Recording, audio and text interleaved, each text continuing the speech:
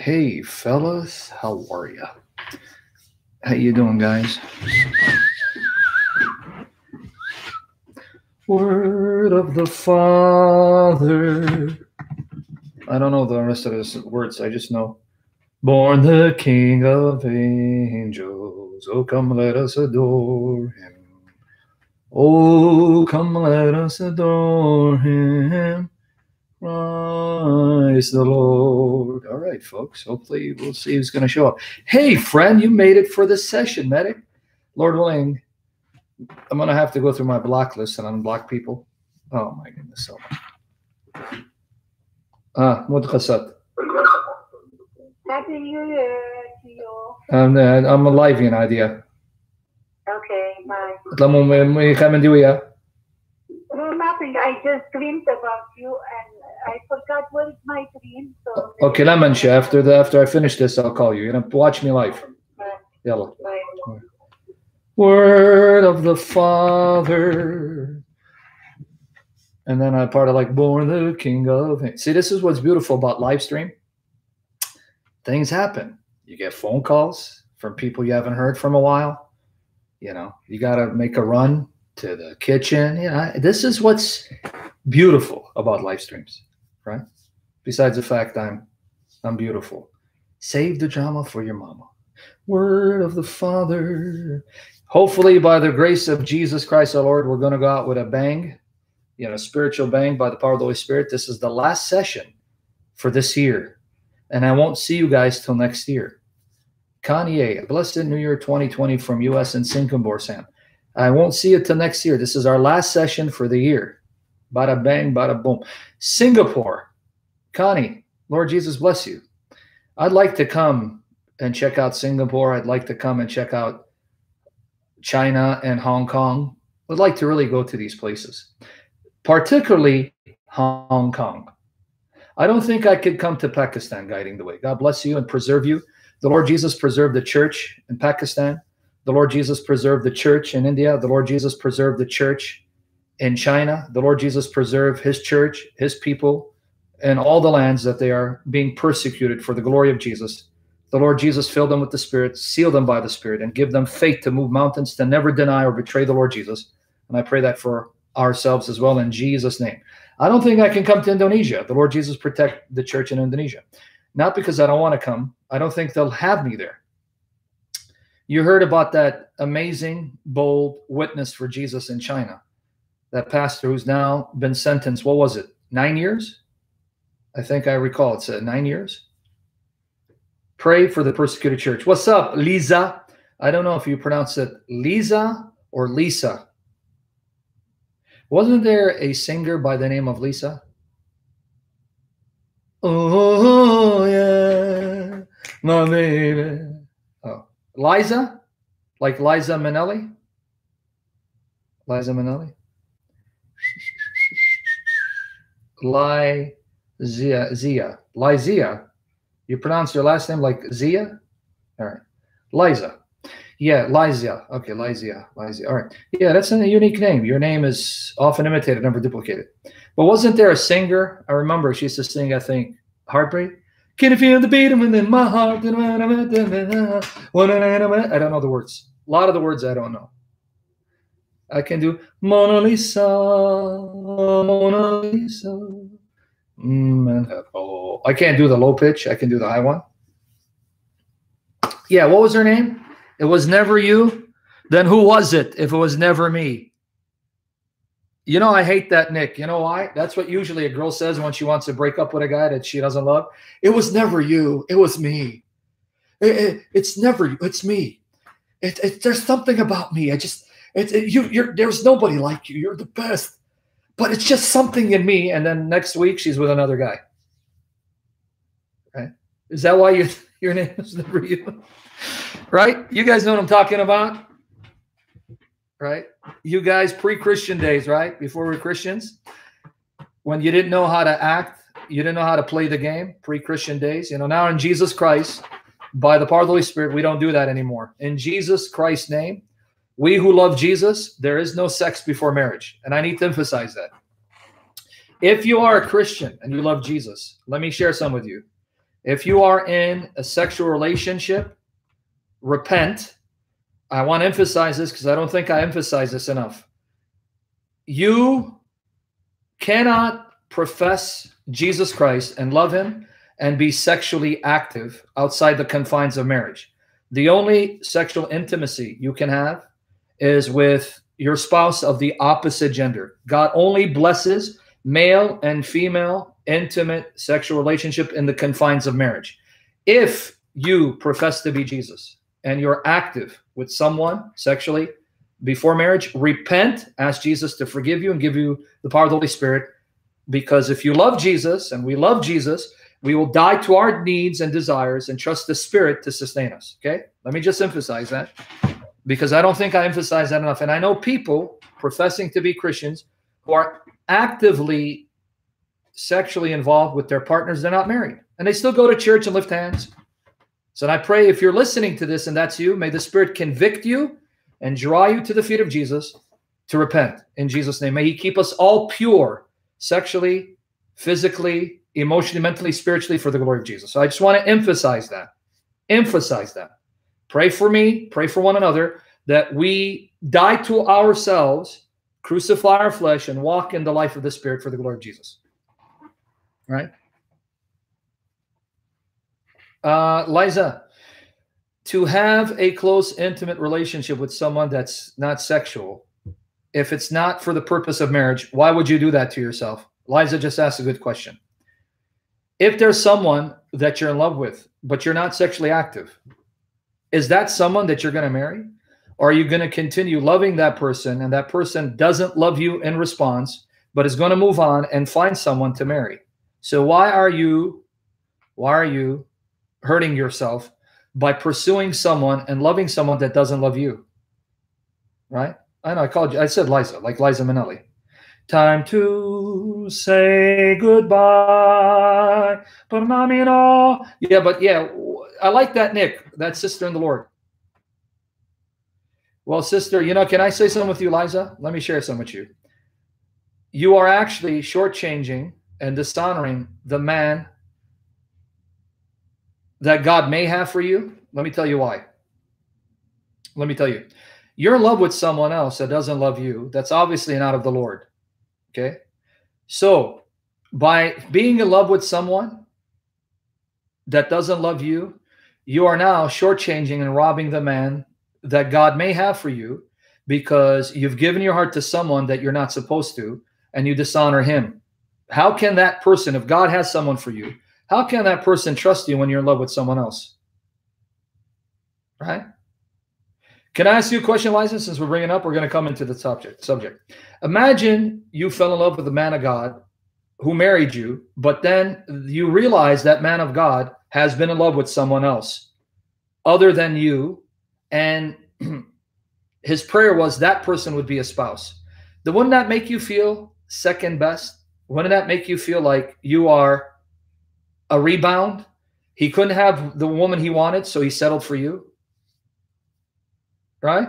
So that's very disrespectful, dishonorable to that man that God may have for you. So I don't know. I don't know. And one thing I can tell you, Liza, don't lie, but don't tell. Let me explain this to you guys. There is a principle, and I don't want you to guys, I don't want you guys, I don't want you guys to misuse this principle. Please hear me carefully. I'm begging the Holy Spirit to guide me into all truth, to save me from error, to sanctify us, to be in love with Jesus Christ, to worship Jesus Christ, and live for Jesus Christ. There is a principle that you'll find in Scripture don't lie, don't tell. You are not permitted to lie as the Lord Jesus grants me perfect sight spiritually and physically, especially into his word. But you're not obligated to always tell someone all the details. Don't lie, don't tell. Meaning, don't lie to someone, but you don't have to tell them all the details. You know, you find this in scripture where prophets of God do not lie to people, but they don't tell them the whole story with God's approval. First Samuel 16 is a case in point. When God commissions Samuel to anoint David, Samuel tell, read First Samuel 16. Don't take my word for it. Samuel tells God, if Saul hears about it, he may try to kill me. I'm giving you the gist. I'm summing up. He goes, Well, if anyone asks you, tell them that you're going to Jesse's house to sacrifice. Right? To sacrifice, which he did. He was not lying because part of the anointing of David included a sacrifice, right? A festal sacrifice to the God who'd raised up David. That's 1 Samuel 16. So I'm not making this up, but in Jesus' name, by the power of the Spirit, don't abuse and misuse this principle. There are times in which it is not necessary. In fact, it'd be counterproductive for you to give too much details. You are not permitted to lie. So I'm not saying lie. I'm saying you don't have to lie, but you don't have to give all details. Now, why, why am I saying this? I'm saying this for the case of Liza. Liza, you will probably hurt the man of God if he knows you've been in love with someone for all this time. So the best thing to do, ask Jesus to remove that man from your heart, die to him completely. And until you're dead to him, don't pursue a relationship with anyone else when your heart belongs to someone else, because that's a dishonor to that man of God. But once God heals you of that and you have no feelings for that person anymore, and God brings a person in your life, you don't need to tell him that you're in love with this man. You don't need to tell him you're in love with this man. You don't lie to him, but you don't need to bring it up. But one thing I'm going to say as a brother to you, okay? One thing I'm going to say as a brother to you, Liza. As a brother, here's what I'm going to say to you. Do not pursue any man until God removes this man from your heart and he's completely removed and you're dead to him because you will be dishonoring that man of God, right? by not giving him your, your whole undivided love. Right? Are you listening to me? Was that clear to the rest of you? Pray. Yesterday we had 150. I pray we're going to have 300. And it's not about numbers. I just want a lot more sincere students of the word that God can use me to bless them. And if he doesn't want to bring them, that's fine. That's right, Liza. Don't pursue anyone until that man is removed because you've been living a fantasy You've made a man an idol because he's the focus of your heart, and that's sin. You're pursuing a man in love with a man that doesn't love you. What's wrong with you? What's wrong with you is that you're a human being fallen and you're a creature and you're a woman. And I'm not saying this to attack you. I'm a man, you're a woman. Let me unpack a secret of scripture. And it's not really a secret, but it's secret to many. Okay. Guys, don't go into side talks and tangents. Focus. Let me get my coffee. Hold on, to get my coffee.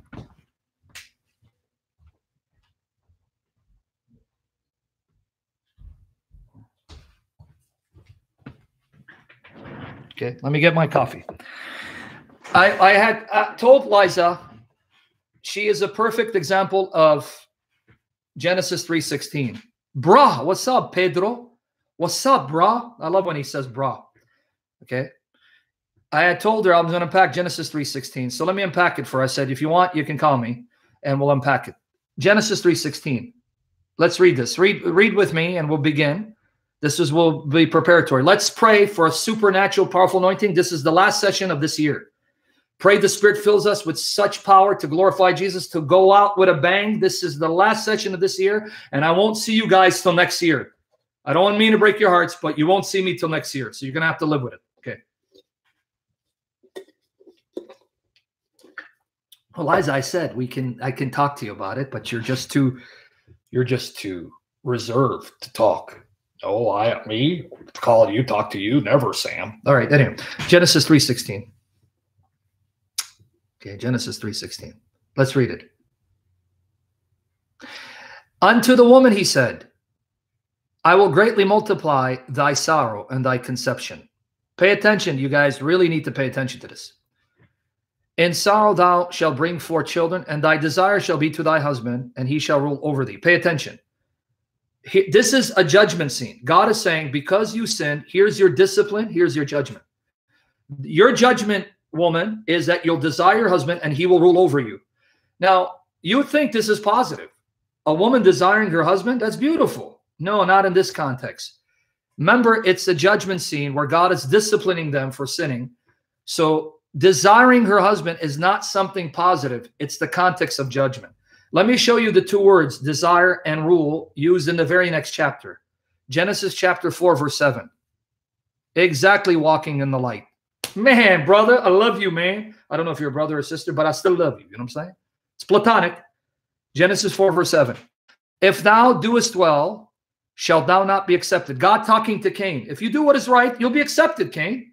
And if thou doest not well, if you don't do what is good, sin lieth at the door. So he describes sin like a demon, as a spiritual being, and it's crouching at your door. And unto thee shall be his desire, and thou shalt rule over him. Bam! The same two Hebrew words. Did you catch it? Same two Hebrew words. Cain, sin desires you, you have to rule over it. Do you think that's positive? Do you think the desire of sin for Cain is a good thing or a bad thing? Is it good or bad?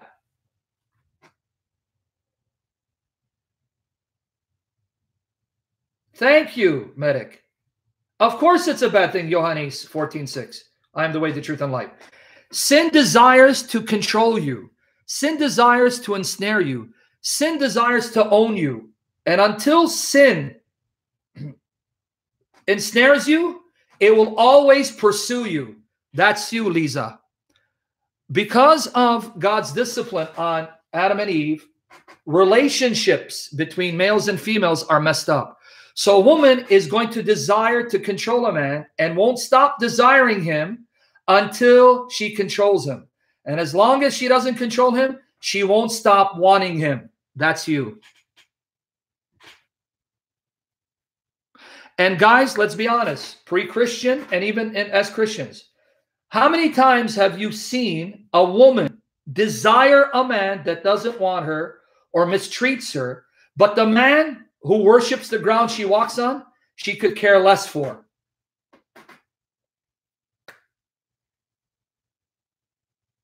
Vice versa, right? How many times do you find a man disrespecting a woman that worships the ground he walks on, treating her like garbage, playing her. But the woman that plays him, he goes nuts over her. That's what Genesis 3:16 is saying. Liza, the fact that you desire to have someone that you can't have, that's sin in itself. That's sin in itself because you're not free to pursue the one that God has for you. And as long as you're not free to pursue the one that God has for you, he won't bring him to you. You see my point? So, what God is saying is because of sin, women will desire to ensnare men. They're going to try to take men captive, control them. And once they have them, they have no respect for that man. And a man will rule a, a woman, just like Cain is to rule sin. That's not good, right? Cain is to conquer sin, vanquish sin, subjugate sin. That's what is going to happen between men and women. A man is going to just vanquish a woman, conquer a woman, subjugate a woman, treat her like nothing. And a woman's going to desire that man she can't have. It's only in Christ that he restores the relationship between men and women the way it was supposed to be before sin entered the picture. It's in Christ that a woman, by the power of the Holy Spirit, dies to her sinful inclination to control and ensnare a man. And it's in Christ that a man filled with the Spirit doesn't desire to conquer his wife, vanquish his wife, belittle his wife, but to serve her and honor her for the sake of the Lord. And reality proves the Bible is 150% true. The Bible is God's word, the creator of heaven and earth, who knows human condition better than anyone. So the Bible reflects reality. That's why your experience confirms the truth of this passage. Right? Thank you, Petra Kali. I don't know why you're so fascinated with how healthy I look. Right? So, folks, once you see, for the men, this is for the men. Once you see a woman that's playing hard to get, your natural desire will be to pursue her. But more the more you pursue her, the less she'll want you. When you stop pursuing her, guess what happens? She gets discombobulated, can't believe what's happening, and then she wants you all of a sudden. Wow. What a messed up world.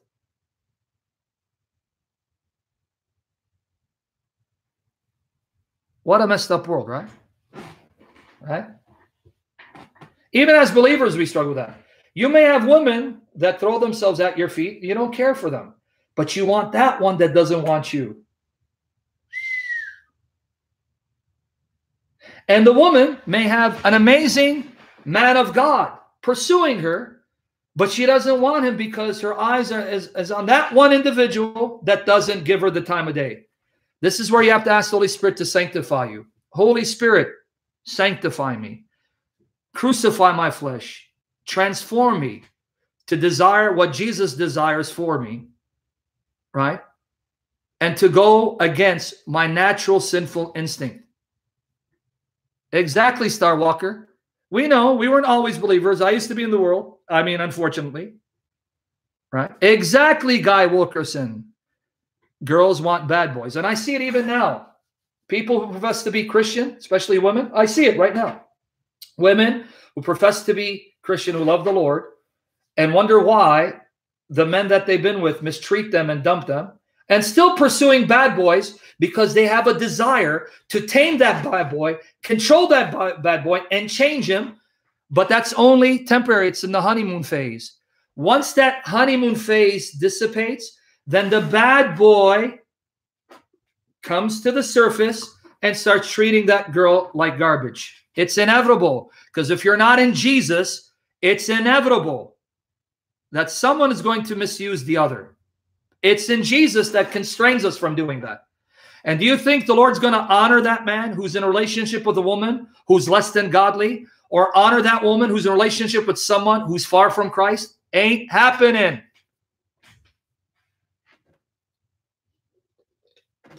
It's not going to happen. Let's look at Ecclesiastes 7:26 real quickly. By the way, is the Bible amazing or what? The Bible has all the answers and it's supernatural because it's the word of the true God who truly lives. It's amazing, right? Exactly, Melanie Max. Say that to Liza. Liza's in love with a guy that doesn't love her. She's made him an idol and she can't break free from him. All right?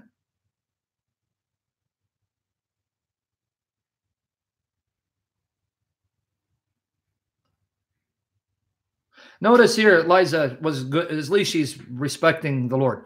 I realized that I still desired the one man that I can't get over. And so I recently completely just stopped dating an old friend who was marriage minded. You see, all this time she was with someone who wanted to marry her, but her heart was somewhere else. You need to die to that because now it's becoming sin. Ecclesiastes 7.26. Ecclesiastes 7.26. All right. Guys, I want to be buffering because I'm in my brother's place, so the internet is not the best. Yep, amen. Cut those connections. Ecclesiastes 7.26. I love this, folks. Memorize this passage, men and women, because it's also applicable to women. Pay attention, folks. And I find more bitter than death the woman whose heart is snares and nets, and her hands as bands. Whoso pleases God shall escape from her, but the sinner shall be taken by her. Now, this also applies to men ensnaring women. Don't you love that passage? If you please the Lord and delight the Lord, he will save you from that woman that desires to ensnare you. Same thing with the woman. If you are a woman who pleases the Lord, he'll save you from the man who desires to vanquish you. Okay? So I hope that was clear. So, Liza, time to repent, sister. Time to die to this man that you made an idol and seek the Lord. Um, Mosul Beat, I will be doing a series on Isaiah 714. I have some articles on my website. So, God willing, next year, I won't see you till next year. I'll be doing series on Isaiah 714, Lord willing. But for now, I will be focusing on this article of mine. I run the blog answeringislamblog.wordpress.com. So pray for my ministry. Pray for the websites that I run. Pray for God blessing me with wisdom and knowledge from the Spirit to produce top notch articles and rebuttals and videos for the glory of Jesus. This is the article that the series is based on. Here it is. Let me give you the link. I'll post it three times because we're Trinitarian, right? Okay. This is the article that the series is based on. Whose glory did Isaiah see? So all this information is in that article. Here's what I want you to do. I want you to pray the Holy Spirit helps me to help you to interpret scripture correctly, to recall scripture perfectly, and then by the power of the Holy Spirit to absorb this information, memorize this information, make it second nature, understand it, and then share it. Share it. Hit the like button. Pass these videos and articles. Download the videos to your YouTube channels. Print out the distribute them. Teach them in your Sunday school and your Bible classes. This information is for you to be used to glorify the triune God. This information is for you to be used to glorify the triune God. Use my information Take it, print it, distribute it. Use it in your Bible studies, in your Sunday school. Use it for the glory of Jesus Christ. Right? And hit the like button and pray that we can make this YouTube channel skyrocket and go viral with serious, sincere students of the word as the Spirit uses me to bless you if the Lord wants to use me in the upcoming year. What's up, my brother? God bless you. Good to see you. So, hopefully Genesis 3:16 will sink into you men and women who are not married, right? Do not pursue the one that has no interest in you. Ask God to show you if he has someone for you and to reveal who that person is and honor that person for the sake of Jesus. Don't play games. Don't play games. I know it's hard. I know it's hard. We're human and we desire that which we can't have, unfortunately. And that goes back to the Garden of Eden. Adam and Eve didn't desire what they could have. They desired the one thing they couldn't have. See, that's part of sin, right? Adam and Eve, they had all the trees before them, a perfect garden, a beautiful garden, plenty of trees to eat and delight themselves with. But they desired the one tree they couldn't have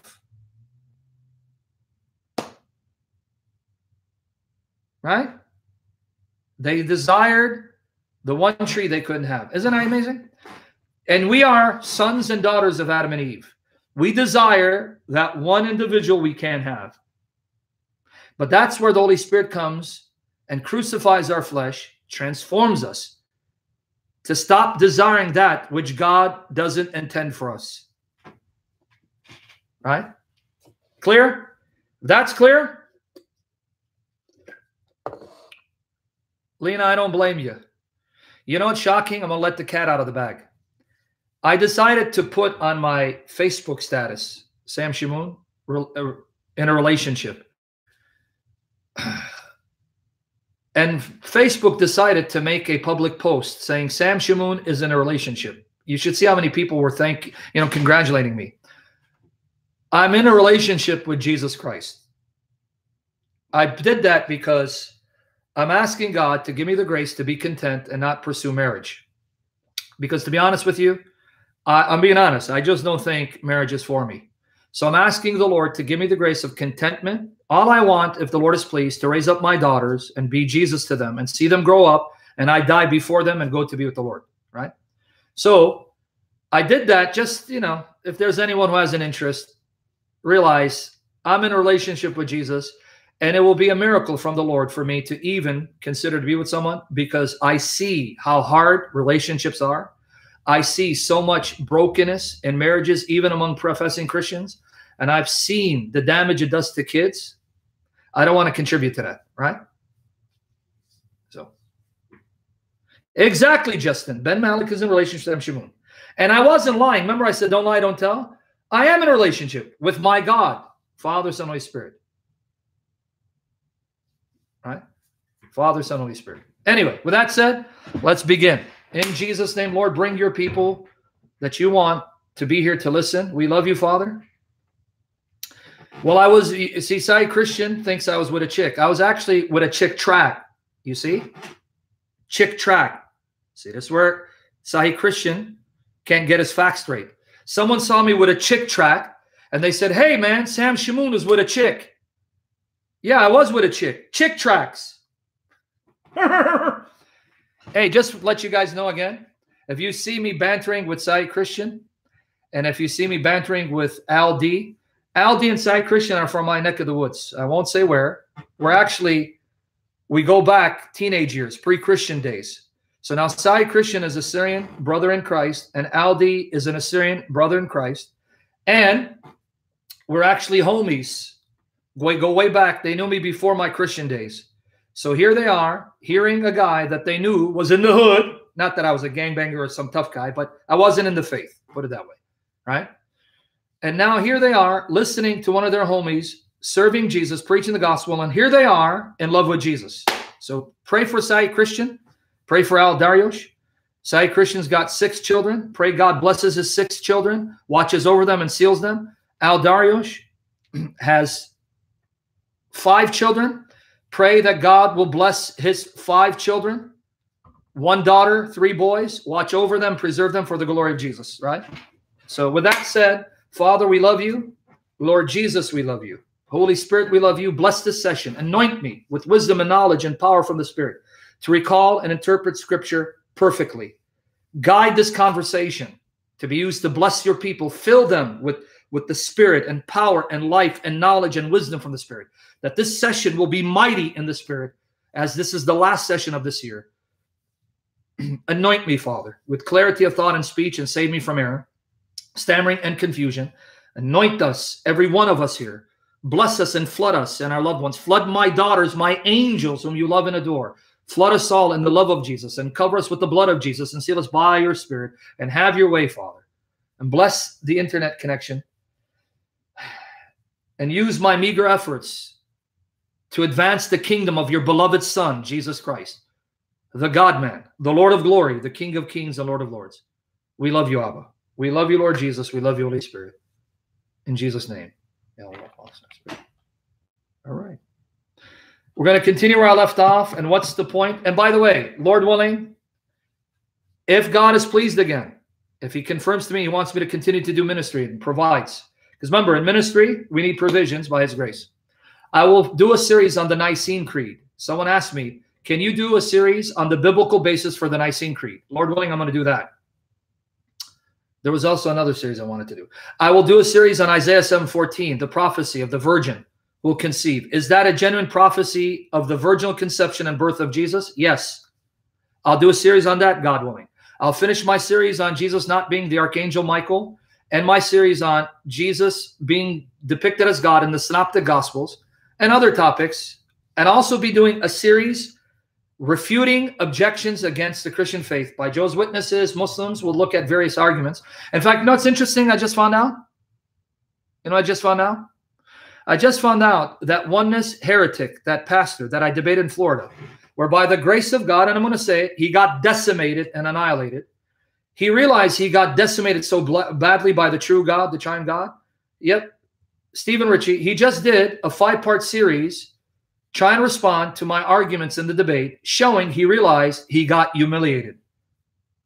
After the debates, I haven't even paid him attention. But someone just brought to my attention, I just saw on his YouTube channel, there's now, I think, five parts where he's refuting my so called misinterpretation of scripture. What does that tell you when a guy has to come and do a multi part series on a debate that he challenged me on? to try to go into damage control, that means he realizes that even his fan base saw he got decimated, glory to the triune God, because he worships a false God. I have no respect for people like that. Right? Right? Have you noticed after the debate, I never even addressed them? Because once I'm usually, when I'm done with someone to debate, I don't waste my time with that individual.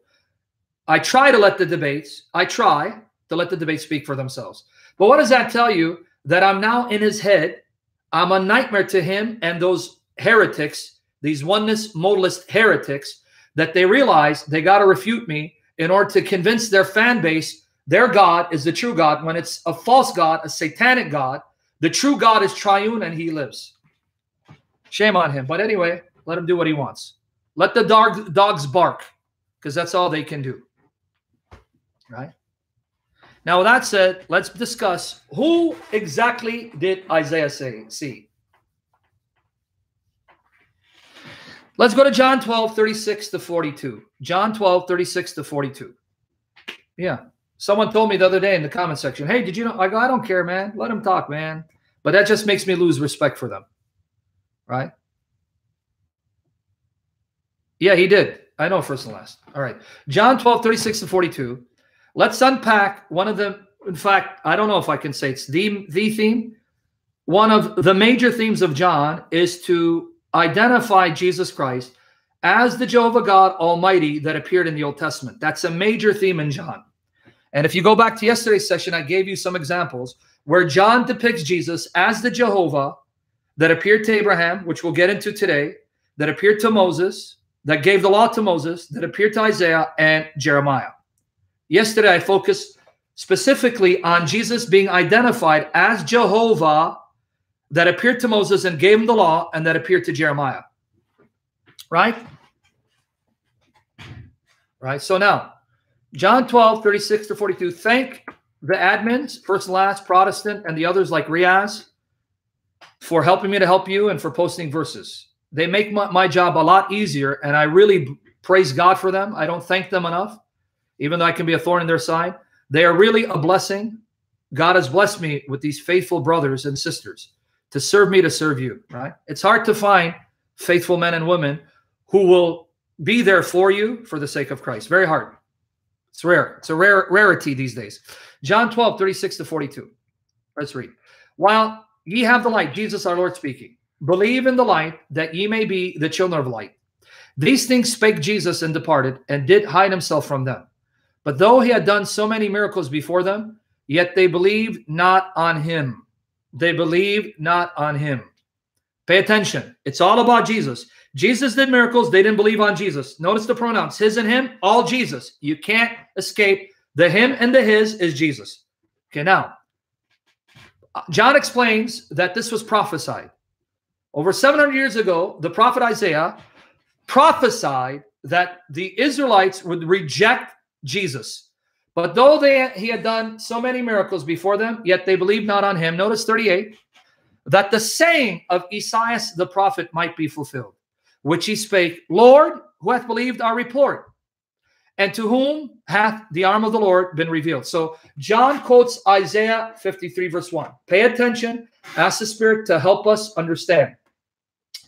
John says, Isaiah 53, 1 prophesied, when the Messiah, the servant of Jehovah, the arm of Jehovah appears, who would believe in him? So John is saying, see, they are fulfilling what Isaiah said the reaction to the Messiah would be they're fulfilling Isaiah 53, verse 1. But then notice what else he quotes John 12, 39. Therefore, they could not believe because that Esaias said again, and now he quotes Isaiah 6, verse 10. Isaiah 6, verse 10. He hath blinded their eyes. Pay attention now. He hath blinded their eyes, right? and hardened their heart that they should not see with their eyes nor understand with their heart and be converted and I should heal them. Now, 41. John is going to explain why Isaiah spoke about the Messiah. Why? Here's why. Why did Isaiah speak about Messiah being rejected? Because God hardened the hearts of Israel from being able to accept him. Why? Here's why. 41. These things said Esaias when he saw his glory and spake of him.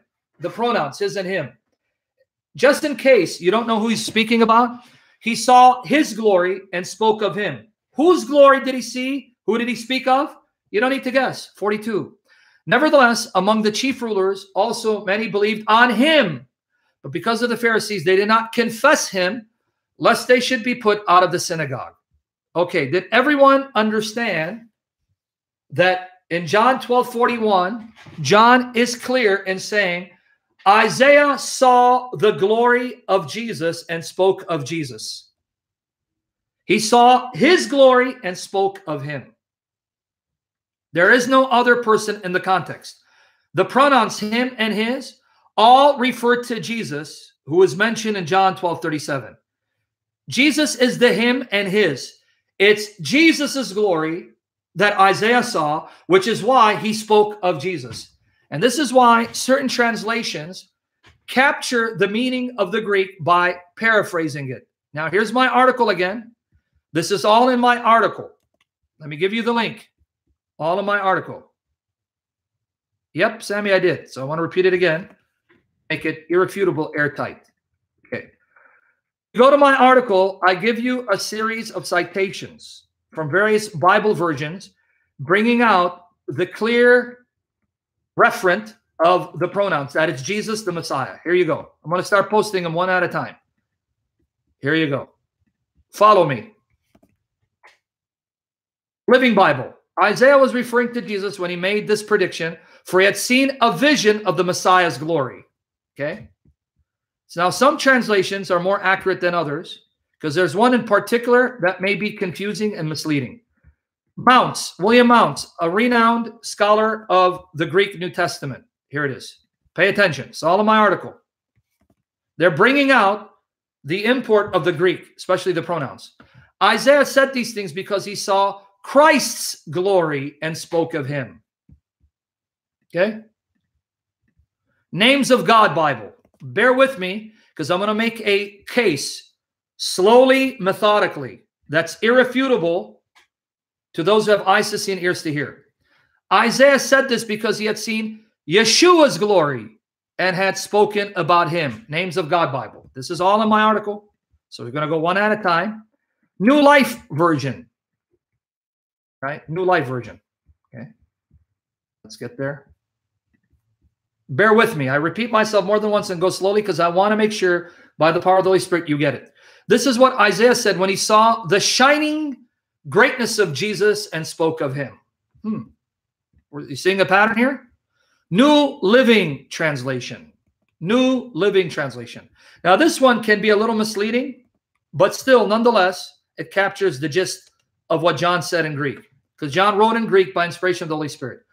Isaiah was referring to Jesus when he said this because he saw the future and spoke of the Messiah's glory. And he and that's true. He did see the future, but also saw the glory of the Messiah revealed to him. But where was it revealed to him? When was it revealed to him? I'll get there. Just bear with me. I hope this is going to bless you because I want to go out with a bang. Here is the note to the Jerusalem Bible. The Jerusalem Bible. The note to the Jerusalem Bible. I didn't quote it, but I gave the note. Okay. Hold on. Let me do this. Jerusalem Bible. Isaiah was referring to Jesus when he said this because he saw the future and spoke of Messiah's glory. That's New Living Translation. Now, notice the note to the Jerusalem Bible. Isaiah's vision in the temple, Isaiah 6 4, interpreted as a prophetic vision of Christ's glory. Notice it's telling you this is when Isaiah saw the glory of Christ. He saw his glory in Isaiah 6. And I'm going to come back to that in a minute. Jerusalem Bible. This is the textual note of the New English translation which is online. You can read for free. I'm going to break it down into two sections. Follow with me. Slowly, but surely. I love this passage. It's one of my favorite passages in proving Jesus is Jehovah God of the Old Testament, the Jehovah that the prophets like Isaiah saw. Okay. This is the NET note. I broke it down into two parts because you can only post 200 words at a time. Okay, follow with me. Okay, let's read. Greek, his. The referent Christ has been specified in the translation for clarity. The reference supplied here is Christ rather than Jesus because it involves what Isaiah saw. It is clear that the author presents Isaiah as having seen the pre incarnate glory of Christ, which was the revelation, the very revelation of the Father. The very revelation of the Father. Now, I know most of you know what pre incarnate means. But for those of you who may not know, let me explain. Pre means before. Pre, Sammy, are you actually pretending to pay attention? Because if you're not, you're insulting me and wasting my time. Pre means before. Incarnate means in the flesh.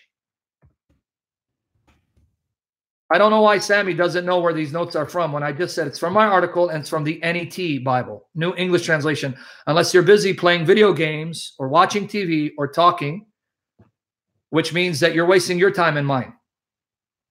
Okay. Okay. Pre incarnate means before Jesus came in the flesh. You understand what it means? So here, the NET translators are saying Isaiah saw Jesus in Jesus's pre-human existence. He saw Jesus before Jesus became flesh. That's what pre-incarnate means. Before the enfleshment of Christ, Christ becoming flesh, becoming human. Does everyone understand what that means? Pre, before, incarnate. Incarnate comes from Latin, means in flesh. Like when you speak of something being carnal, you mean fleshly. Right? So notice what it's telling you. Isaiah got to see Jesus before Jesus became human, before Jesus took on flesh. Jesus already appeared to Isaiah long before Jesus became man. So, where did Jesus appear to Isaiah before Jesus became flesh? When did Jesus see Jesus? I'm sorry, John, Isaiah, Lord, loosen my tongue. Holy Spirit, take over for the glory of Jesus. Too many J's in that sentence. When did Isaiah the prophet see the pre-human Jesus, Jesus in his pre-human existence? You don't need to guess. Let's go to John 12, 40 to 41 one more time.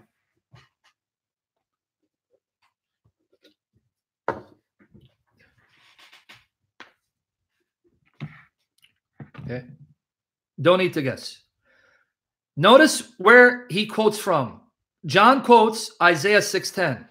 He hath blinded their eyes and hardened their heart, that they should not see with their eyes, nor understand with their heart, and be converted, and I should heal them. These things said Isaiah. These things said Isaiah. Where? Verse 40. The things that I just quoted are things that Isaiah, Isaiah said when he saw his glory and spake of him. Notice he quotes Isaiah 6:10, and after he quotes Isaiah 6:10, John then says, Isaiah said these things that I just quoted. Quoted where? In immediate context, what I just quoted in John 12 40. Isaiah said those words in John 12 40, which is a quotation of Isaiah 6:10, when he saw the glory of Jesus and spoke of him. Now let's go to Isaiah 6:10.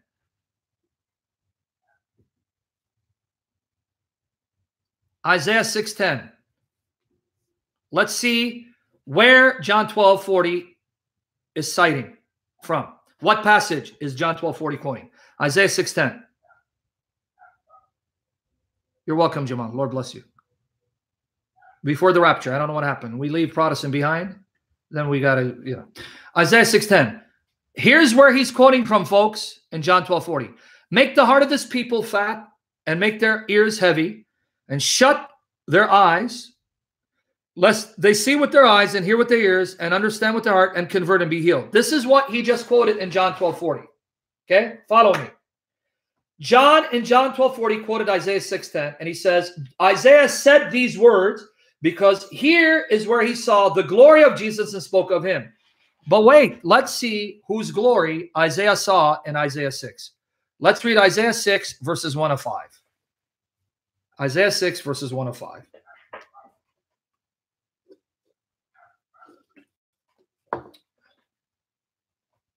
Okay. In the year the king Uzziah died, I saw also the Lord sitting upon a throne, Adonai in Hebrew, high and lifted up, and his train filled with the temple. Above it stood the seraphim. Each one had six wings. With twain he covered his face, and with twain, with two he covered his feet, and with twain he did fly. And one cried unto another and said, Holy, holy, holy is Jehovah of hosts. Yahovah of hosts, the Lord of hosts. The whole earth is full of his glory.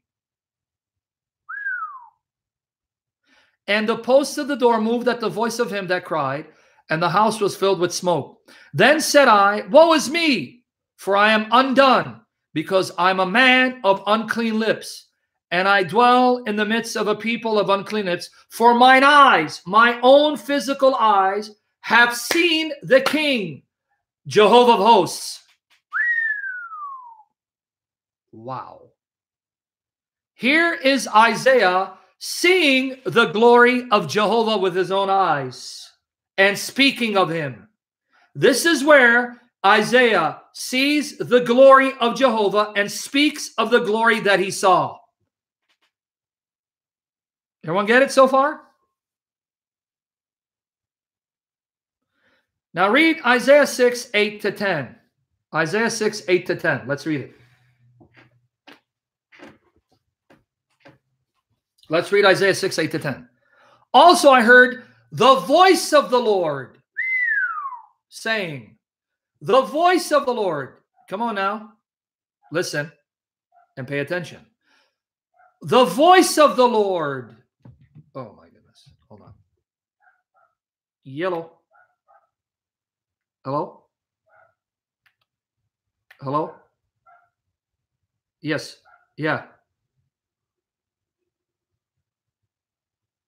Okay. You got it. Okay, I'll see. I'll see you then. Bye bye. Oh, sorry about that. See, live streams, you're going to get distracted. It was my brother. I had to pick it up. I'm in his house. I'm his guest. Okay. All right. And also, I heard verse 8 the voice of the Lord saying, Whom shall I send? Who will go for us? Okay. Park it there, folks. The voice of the Lord spoke. I heard the voice speaking. And the voice of the Lord that spoke said, said Whom shall I, the voice, send? Who'll go for us? The I and the, R, the us? What? What are you talking about, Isaiah? What are you talking about, Isaiah? What do you mean? The voice of the Lord spoke. You heard the voice speaking, the voice speaking, and saying, Whom shall I send? Who'll go for us? How does the I become the us and the us become the I? How does the I become the us and the us become the I? What are you saying, Isaiah? What are you doing here? Now let's read 9 and 10. And he, the voice of the Lord said, that's who's speaking in verse 8, go and tell this people, hear ye indeed, but understand not, and see indeed, but perceive not. Make the heart of the, this people fat and make their ears heavy and shut their eyes, lest they see with their eyes and hear with their ears and understand with their heart and convert and be healed. Okay, let me ask you a question. In Isaiah 6, Isaiah sees Jehovah in visible form, appealing in, appearing in visible form on a throne whose glory fills the earth. And he says, My eyes have seen the King, Jehovah of hosts. Then he hears from the throne the voice of the Lord, the voice saying, Whom shall I send who'll go for us? And this is the place where Isaiah says Jehovah commissions him to say, Make the hearts of this people fat and make their ears heavy, shut their eyes, lest they see with their eyes and hear with their ears and understand with their heart and convert and be healed. Isaiah 6:10 is quoted in John 12:40. Right after quoting this in John 12:41, John says Isaiah said these things because that's when he saw the glory of Jesus and spoke of him.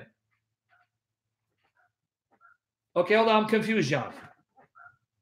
John, according to Isaiah, it is Jehovah whose glory he saw. Jehovah whose glory he saw. Yeah. But you're telling me when he saw the glory of Jehovah, he was actually seeing Jesus in his glory. Yes. Okay, I'm confused, John. He saw Jehovah. You're saying he saw Jesus.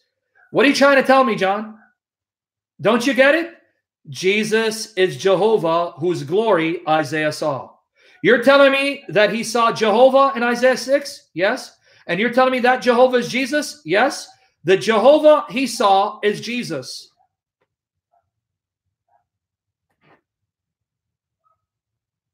Hmm.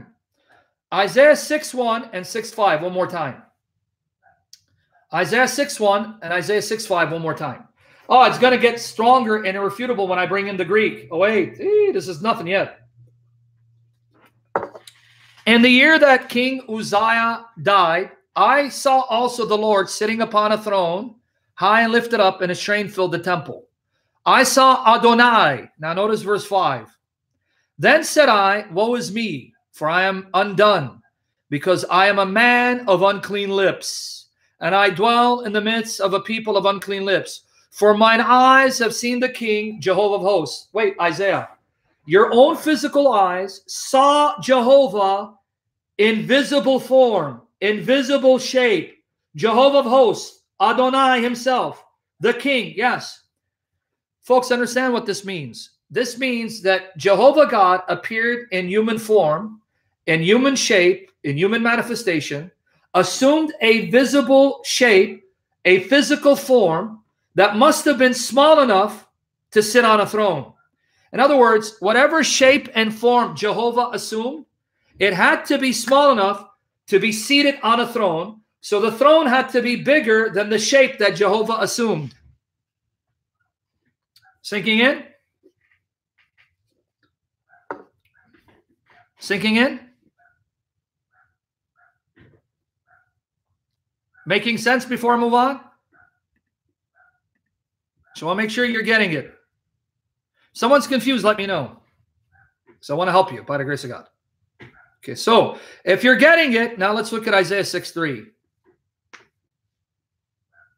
Thank the Lord Jesus, Robbie Stones. Keep praying for me and my angels. Isaiah 6 3. And one cried unto another and said, Holy, holy, holy is Jehovah of hosts. The whole earth is full of his glory. Here's the reference to his glory. I saw Jehovah. I saw Adonai. I saw the king, Jehovah of hosts, with my own physical eyes. I saw him in a visible shape, in a visible form, on a throne. And the earth was full of his glory. So, but wait, let's go to John 12 41. Let's look at John 12 41 again. This is the only place in the book of Isaiah. Thank you, Chanson in Jesus' name, great things await me and my daughters this year for the glory of Jesus, to set me free, to, to serve him in freedom by the power of the Holy Spirit. These things said Esaias when he saw his glory and spake of him. In this context, he's talking about Jesus. John, whose glory did Isaiah see in Isaiah 6? Jesus. Isaiah, whose glory did you see? Who are you talking about? Whose glory did you see that you're talking about? Jehovah of hosts. But wait, Isaiah, John is telling me that Job of hosts, whose glory you saw, who you're talking about, Isaiah 6, is Jesus. Yes, he's right.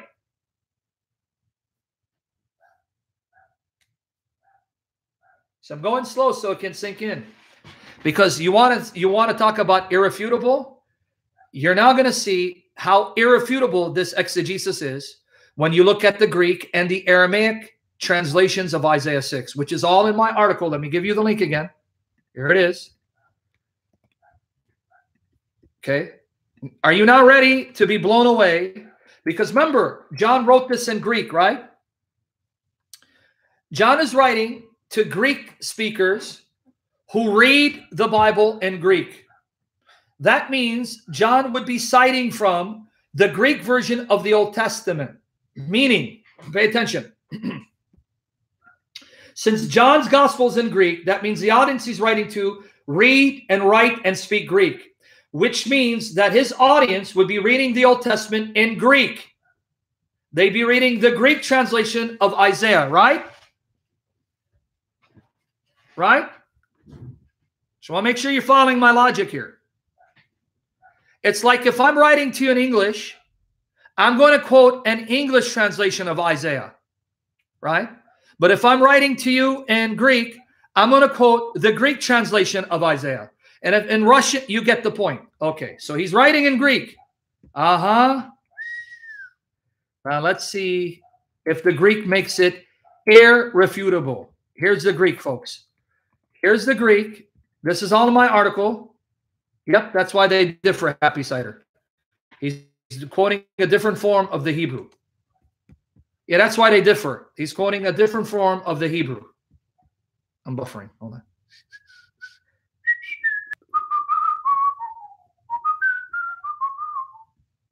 All right. Sorry, I'm buffering. So he's quoting a different form of the Hebrew. Okay. You don't need to know Greek to follow the argument. Isaiah said this when he saw his glory. The word saw is Eiden. His glory, glory is ten, ten, doxan, or doxin, autu. Eiden, tain, doxon autu. I'm giving the Erasmian pronunciation of the Greek and spoke of him. Okay. Again, take a moment to read the Greek transliteration, the translation of the Greek. He saw his glory. He saw is the word Eiden, E I D E N, transliterated. Glory is tain doxa, doxon, tain doxon. Autu means of him. Okay, do you see the phrase? Eiden, tain, doxon, autu. And here he's giving you the whole Greek. Tauta, Ipin, Isaias, Hati, Eidentain, Doxon, Autu, Kai, Ke, listen. Peri, Autu. All right. Now, let me post it again because now I'm going to give you the Greek version, the English translation of the Greek version. This is the English translation of the Greek version. Let's see if you catch it.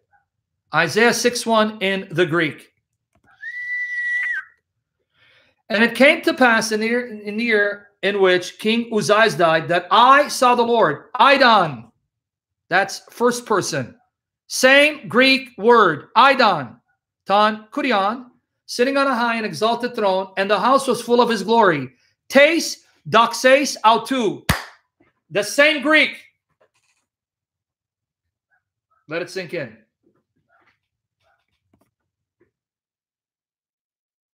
Yeah, if you quote the whole Greek, they're not going to get it first and last unless they read Greek. That's why I'm giving the English with the Greek. Notice both John 12 41 and Isaiah 6 1 in the Greek use a form of horao to see, Idon. One is first person, I saw. The other second person, he saw, right? Both use the same Greek words for glory. One is in the accusative, right? Tain, doxan. The other is genitive, right?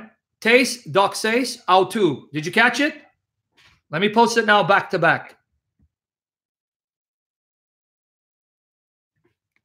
As the Holy Spirit guides me to make this very simple for all of you to get it. Just look at the translation of the Greek in Isaiah 6 1 and John 12 41. Do you see it's the same? And it came to pass in the year in which King Uzziah died that I saw the Lord. I saw is Idon, first person of Orao. Now, notice it says, the, and the house was full of his glory. Tes, doxes, autu. These are all the same Greek words. They're the same Greek words. Now, notice John 12 41. Isaiah said this when he saw his glory. Idon, tain, doxan, autu. Do you see the Greek is identical? Is everyone getting it? Before I move on?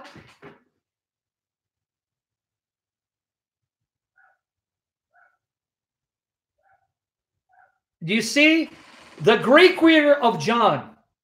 The Greek reader of John who reads Isaiah in Greek would see the connection between Isaiah 6 and John 12 41 and would have no doubt that John is saying that Jehovah, whom Isaiah saw, whose glory he beheld, was none other than Jesus Christ before he became man.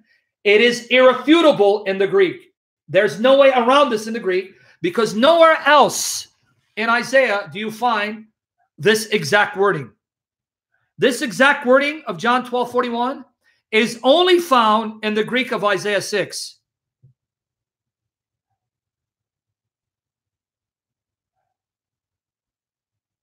Everyone got it? Who's getting confused here?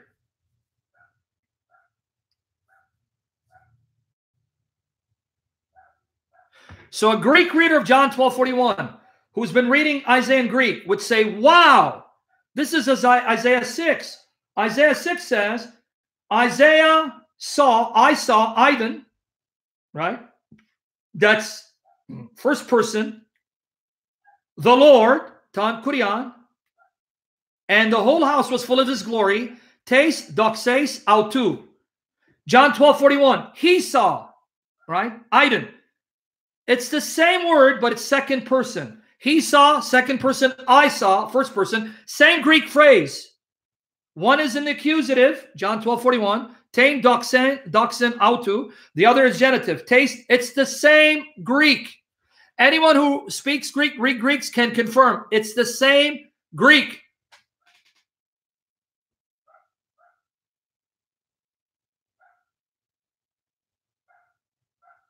You get it? So those who are honest to God, honest to Scripture, and allow God to be who He is, can't get around this. No, sort of the truth. See, there you go again, sort of the truth.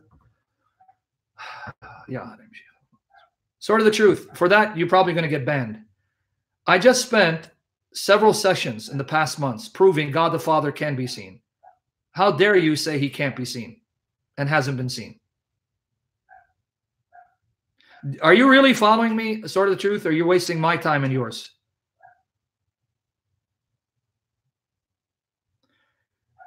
I'm going to show you a place where God the Father was seen. And so I don't know if this is really too much for you. You're not able to handle this. How long have you been listening to me, sort of the truth? Before I move on. Sorry, guys. If I see someone's been with me for a while and say, okay, who told you God the Father can't be seen? Daniel 7, 9 to 10.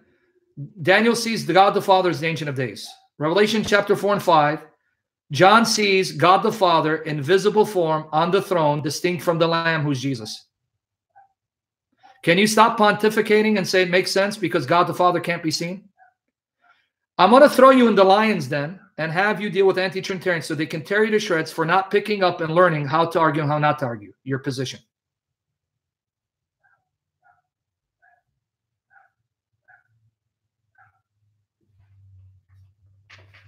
I don't want to start the new year angry.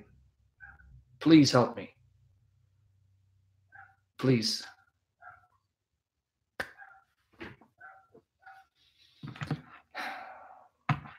Okay, everyone else, did you get the point?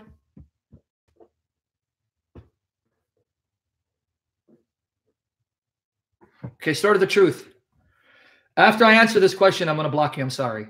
Because Jesus as God is invisible. The Holy Spirit as God is invisible. God by nature is invisible.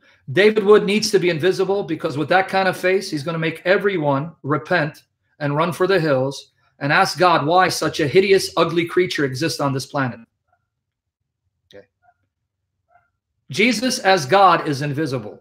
The Holy Spirit as God is invisible. The Father as God is invisible. God by nature is invisible. If the Father doesn't appear visibly, if Jesus doesn't appear visibly, Holy Spirit doesn't appear visibly, you cannot see them. Now, we are praying that David Wood will be invisible because such a hideous, ugly face. If ugliness was a sin, this man would be in the pit of hell, the lowest pit of hell, because his ugliness makes people cringe and ask God why such hideous looking creatures exist in this world. How can something so ugly be created by something so beautiful? Right? Now, with that said, so we don't lose the point because people think they know the scripture and pontificate, right? Happy Cider. Do you hear what this guy says about me on his live streams? Even when he's Israel, he managed to take a shot about my YouTube channel. So it's eye for an eye, tit for tat. He takes my eye, I take his eyes and his nose, right? I go above and beyond the, the punishment. Okay, now let's focus, sort of truth. Please, let's focus. Okay let's not forget the point. Does everyone see? Does everyone see? Right? Don't ever insult Scarface again, Andrew Martin, because I'll block you for that. Does everyone see that the Greek reader of John 12 41, who's familiar with the Greek of Isaiah 6, would make the connection?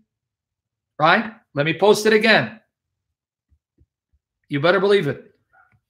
That's all I can do is get personal and attack ad hominems. Let's quote it again. Let's not lose the point because people don't focus and study and learn, pretend they're listening, wasting their time and mine. Okay, let's read. Here is the Greek of John 1241 and the Greek of Isaiah. John's Greek readers would be reading Isaiah in Greek, and the connection to them would be irrefutable, clear as day. Even a blind man could see it. Okay. Okay. Even a blind man could see it. Okay. Let's read. Watch. Isaiah said this when he saw his glory. Iden, 10, 10, Doxan, Autu. Okay. And spoke of him. In the context, is Jesus. Read Isaiah 6 1 from the Greek. And it came to pass in the year in which King Uzziah died that I saw the Lord. Iden, same Greek word for saw. One is first person, Isaiah 6. The other one, John 12, is second person. I saw, he saw. But it's the same Greek word. I saw the Lord, Identon Kurian, sitting on a high and exalted throne, and the house was full of his glory. Of his glory, taste, doxes, autu, Erasmian pronunciation. Any Greek reader will tell you that's identical. It's the same Greek. John 12, 41, the Greek is identical to the Greek of John of Isaiah 6, 1. For you Greek speakers and readers here, am I lying? It's identical. It's just one is first person, the other second person. One is the genitive, the other is the accusative, but it's the same Greek. See, first last reads Greek. So, my question to every one of you, my question to every one of you. A Greek reader of John 1241 who reads Isaiah in Greek, are you telling me that Greek reader would not see the deliberate connection to Isaiah 6 right after John quotes Isaiah 6:10 where in the Greek of Isaiah 6 it speaks of Isaiah seeing Jehovah with his own eyes and seeing his glory fill the temple and fill the earth, that the Greek reader would not see the connection between Isaiah 6, where Jehovah appears to Isaiah, Isaiah sees his glory, with what John says about Isaiah seeing the glory of Jesus?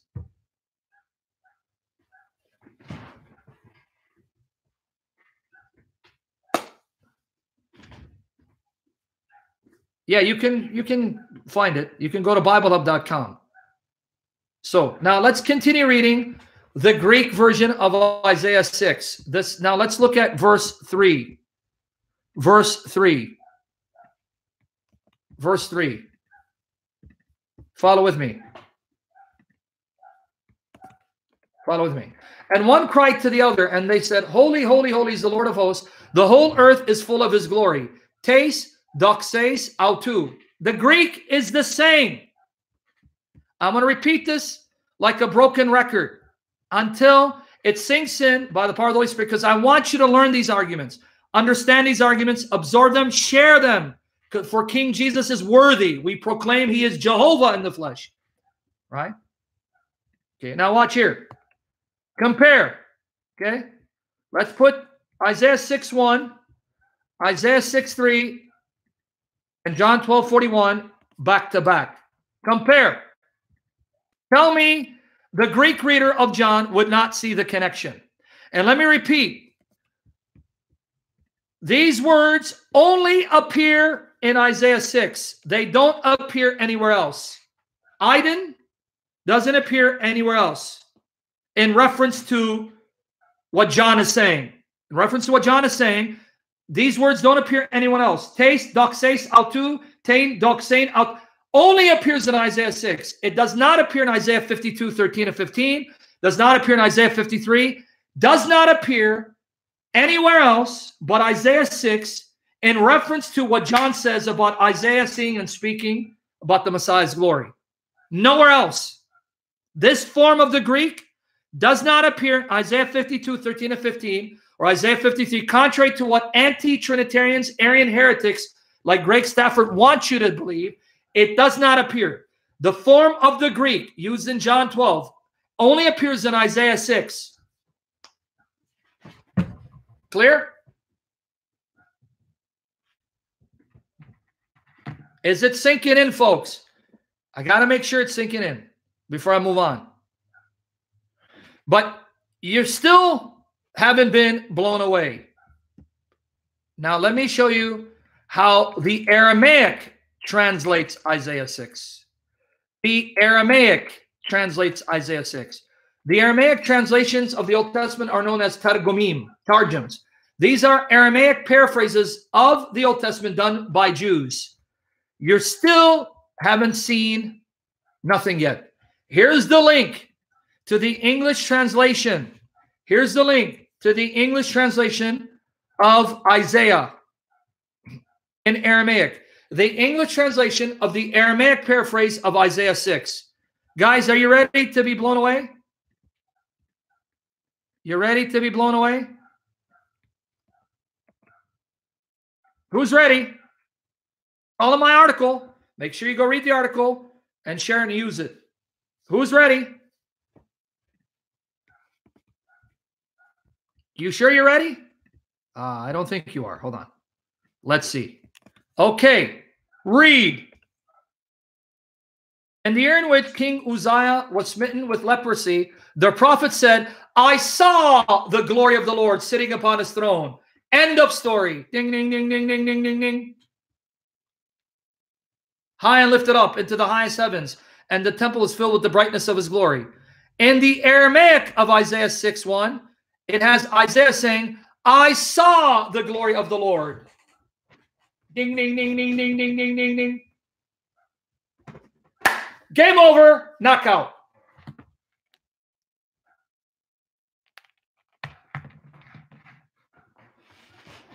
I don't think it sunk in, man. Let me let me quote it again. It's all my article. Watch here. Let's try it again. Okay.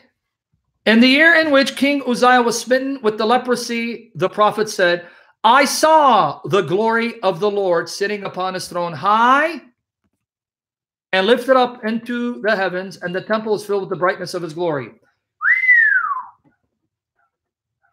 So you're telling me a Jew who read Isaiah in Greek or read Isaiah in Aramaic would not make the connection between John saying Isaiah saw Jesus' glory and Isaiah 6, where Jehovah appeared visibly whose glory Isaiah beheld. He would not connect Jesus with that Jehovah God that appeared to Isaiah. Is that what you're trying to convince me?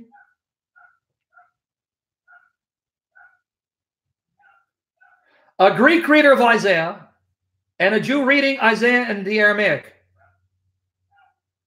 would not see that John is telling us Jesus is that Jehovah God Almighty that appeared on the throne, whose glory Isaiah saw with his eyes. That was Jesus. Really? You want to convince me? Do you see how desperate, how wickedly blasphemous these anti Trinitarians are? Not allowing Jesus to be who he is, allow, not allowing the Bible to speak clearly. Before I move on, I want to get some feedback. Are you with me? You're getting it? Is making sense?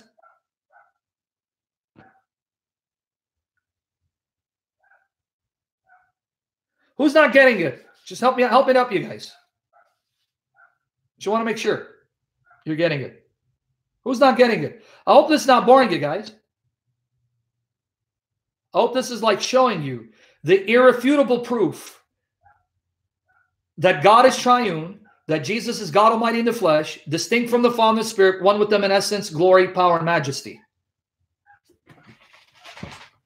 Yes, that's what I just said, medic. Brother, please attention. And if you're playing video games, you know you're going to be in trouble, right?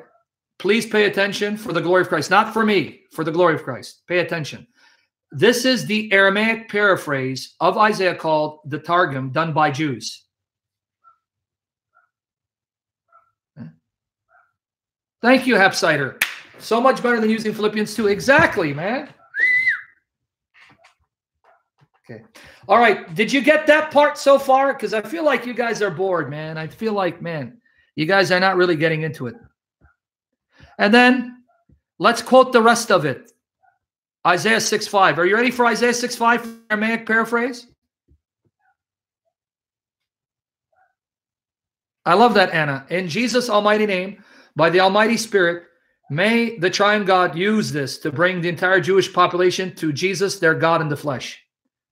guys, here is Isaiah 6 5 from the Aramaic paraphrase of Isaiah. You guys ready? You guys ready? Because I'm I want to go out with a bang. Last session of the year. And I'm not going to see you till next year. Guys, ready? You excited? I'm getting excited for you. It's like you guys are falling asleep. but if it's David Wood, you'd be awake, huh? Hmm? All right. Oh my goodness, my goodness. All right. Hold on. Sanchez. Yes. Hold on. Okay, guys, I'm gonna have to entertain you for. I'm gonna have to hold it because this is what it is. Live stream. Someone's at the door. Hold on. I'm gonna entertain you for a minute. Okay. Hold on. Let me entertain you. All right. Okay, hold on. Insurance for veterans like King. Sorry, because I got to open the door. Uh, shut up! Come on! Move it! Sorry, these darn commercials. I'll be right back.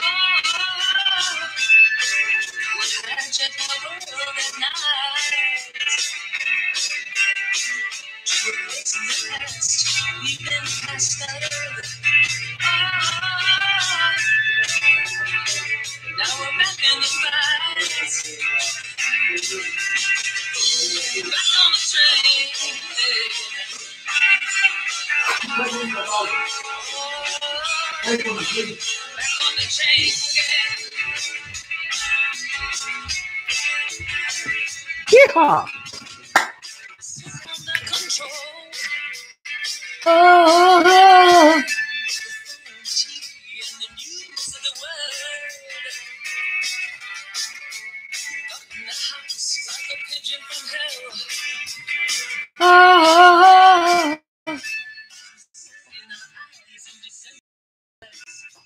Ooh. Uh. Ha. All right. Sorry, guys. Had open the door. All right. You ready? I don't think you guys are ready. Left you in suspense. I left you in suspense. Yeah, I'll put that next. Kung Fu Fighting. I left you in suspense. Are you ready? Isaiah 6 5 in the Aramaic. I love you guys. You ready? Come on, come on. Then said I, Woe is me, for I have sinned, for I am a guilty man to reprove, and I dwell in the midst of a people polluted with sin.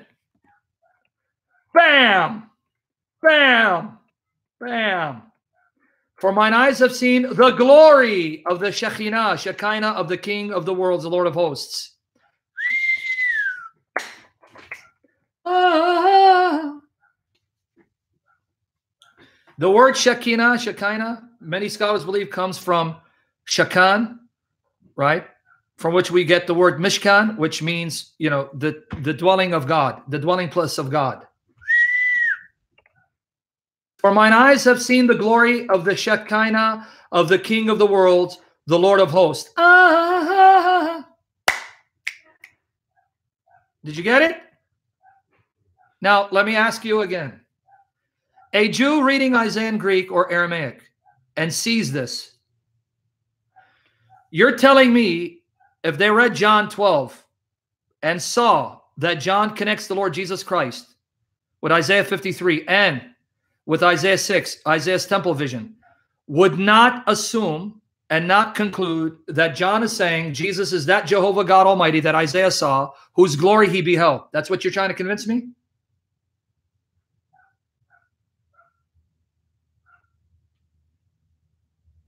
That's what you're trying to convince me?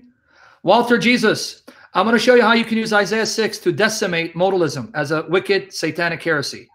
Are you ready? I'm going to show you how you can use the Aramaic paraphrase of Isaiah to prove So wait, sort of truth. Yeah, you're going to get blocked right now. You mean the Jewish believers like John wouldn't read the Gospel of John. So there weren't Jewish believers that were reading the Gospel of John because John only converted Gentiles.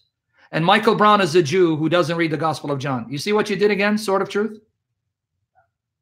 You again made a comment that is false. So Jews don't believe in Jesus. So Michael Brown is a Jew, who doesn't believe in Jesus, so he doesn't read the Gospel of John. Tovia Singer, who's an anti-Christian rabbi, doesn't read the New Testament to try to destroy the Christian faith. At the time of John, there weren't Jews who believed in Jesus and will not, yes. I don't know what's happening today, sort of truth. I do love you as a brother in Christ, but I don't know what's happening with you today. What's going on with you today, brother? Are you really paying attention? Are you really paying attention, brother? What's going on today? So, John the Jew wrote the Gospel of John. Jesus' first followers were Jews. There were Jewish believers in Jesus, even among the Pharisees, but you say Jews don't read John.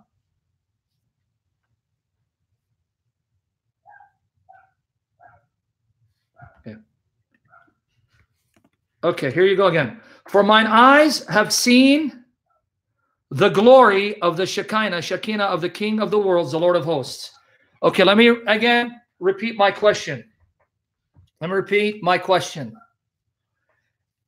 You're telling me a Jew who reads Isaiah in Greek or Aramaic would not see that John in John 12, 36 to 42, specifically in verse 41, is identifying Jesus as that Jehovah God Almighty that Isaiah beheld, whose glory he saw in Isaiah 6. Is that what you're trying to convince me?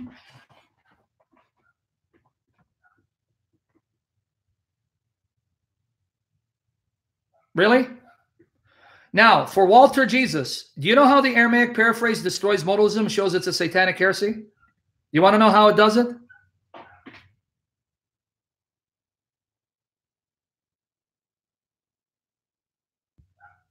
Let me show you how. You ready now for me to show you?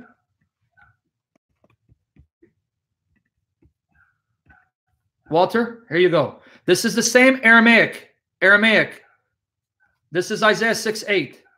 And I heard the voice of the word of the Lord. Wow. It was the word of the Lord that commissioned Isaiah, who said, Whom shall I send to prophesy? And who will go to teach? Then said I, Here am I, send me. Wait, the Jews knew that the word of the Lord was there on the throne with the Lord, and it was the word of the Lord speaking, whose voice Isaiah heard.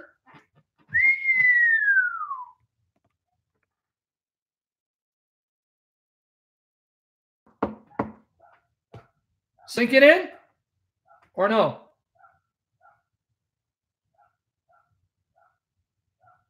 Sink it in before anyone asks me anything.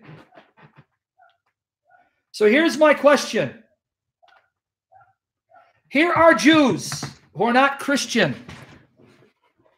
And yet they are they realize from the Old Testament there is this entity, this messenger, this agent of God, distinct from God, whom they called the Memra in Aramaic, Logos in Greek. Philo Alexandria called them Logos. The Word, distinct from God, right? Sent by God, God's agent who speaks on behalf of God, who's there on the throne with God, who speaks and commissions prophets. So that means the Jews, from their reading of the Old Testament, already discovered the multi personal nature of God. And one of those divine persons is called the Word. So John didn't introduce anything new when he said, In the beginning, there was the Word who was with God, who is God, who created all things. The only new thing that John added is that that word has now become the flesh and blood human being called Jesus. That's the only new thing he added.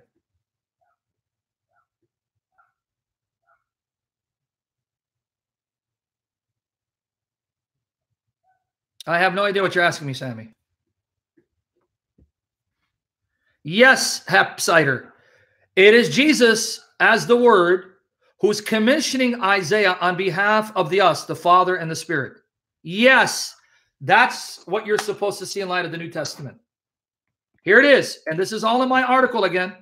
Let me give you a link to my article. That's why, guys, please pray God will sanctify me to become more like Jesus in holiness and purity and in love and obedience and worship, more loving, compassionate, more bold, uncompromising, never pervert the scriptures, to provide for me and my daughters, and to give me wisdom to keep teaching you this, because this is wisdom God has given me to give to you. This is wisdom that the Spirit wants us, the body, to have, to walk in this truth, to live this truth, to love this truth, to proclaim this truth, and die for this truth.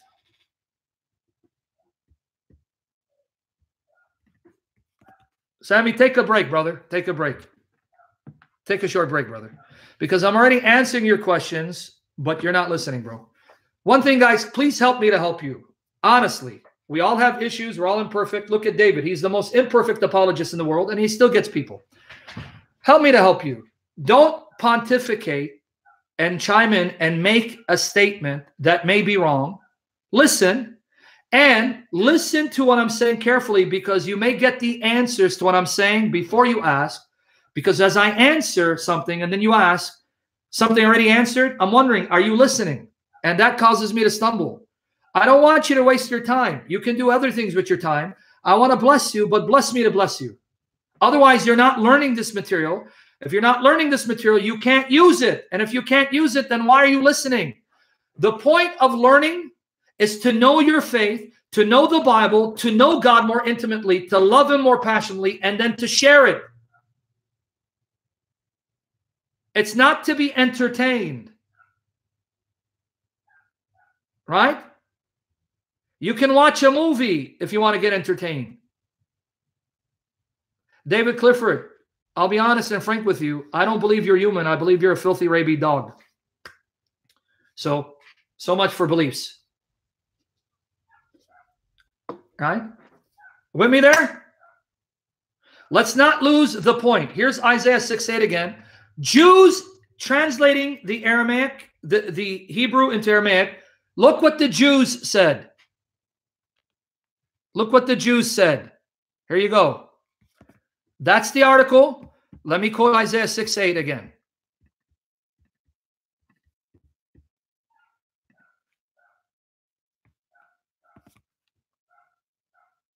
Okay. Well, hold on, man. I'm trying to get that. In Jesus' name, Father, Son, Spirit be glorified and anoint us. In Jesus' name, here. Let me do this again. Here. Let's get it. Guide us, Holy Spirit. Isaiah 6 8 from the Aramaic. And I heard the voice of the word of the Lord.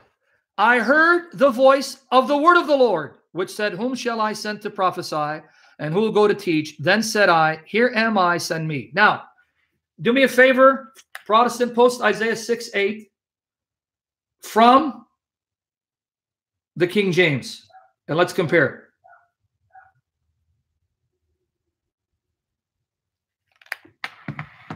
Okay. Notice the King James. Also, I heard the voice of the Lord. I heard the voice of the Lord, right? Saying, so the voice of God speaks. God's voice is a person who speaks, and you can hear the voice speaking. I heard the voice speaking. It's not simply the Lord's voice, it's someone called the voice of the Lord, someone who's known as God's voice, who speaks on God's behalf. It's not simply God speaking, it's someone called the voice who's speaking. This voice belongs to the Lord. This voice speaks for the Lord. This voice is a person who can speak.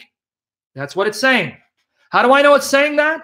Also, I heard the voice of the Lord saying, Whom shall I send? And who will go for us? How do I know the voice is not simply God speaking, but someone, some person some entity in heaven with God who's called God's voice because he's the one who speaks on God's behalf? Because even the Jews saw it. Here you go. And I heard the voice of the word of the Lord. So even the Jews saw that the voice of the Lord is not simply God speaking audibly. The voice of the Lord is his word, who's a distinct person who speaks on his behalf, who represents God and commissions the prophets. Here you go. And I heard the voice of the word of the Lord, which said, Whom shall I send to prophesy? And who will go to teach? Then said I, Here am I, send me. Now the singular and plural of Isaiah 6 8 makes sense. Now it makes sense because notice what it said in Isaiah 6 8. It said, And I heard the voice of the Lord saying, Whom shall I send? Who'll go for us? Now it makes sense why the voice could say, Who'll go for us?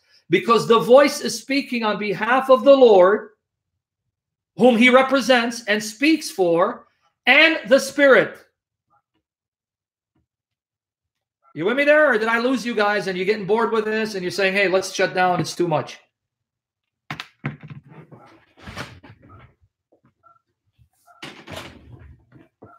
Is that making sense? Now, hold on. I said, what Isaiah 6 said, says, the voice says, Whom shall I send? Who go for us? That's because the voice is now speaking on behalf of the Godhead. He's saying us, meaning I, the voice, Jehovah, and the Spirit. The us means the voice, Jehovah, and the Spirit in union. How do I know that he's speaking on behalf of the Spirit as well? Let me show you how I know. Let's read Isaiah 6, 8 to 10. Exactly, Riaz. You connect this with Genesis 126. Let me connect it with Genesis 126.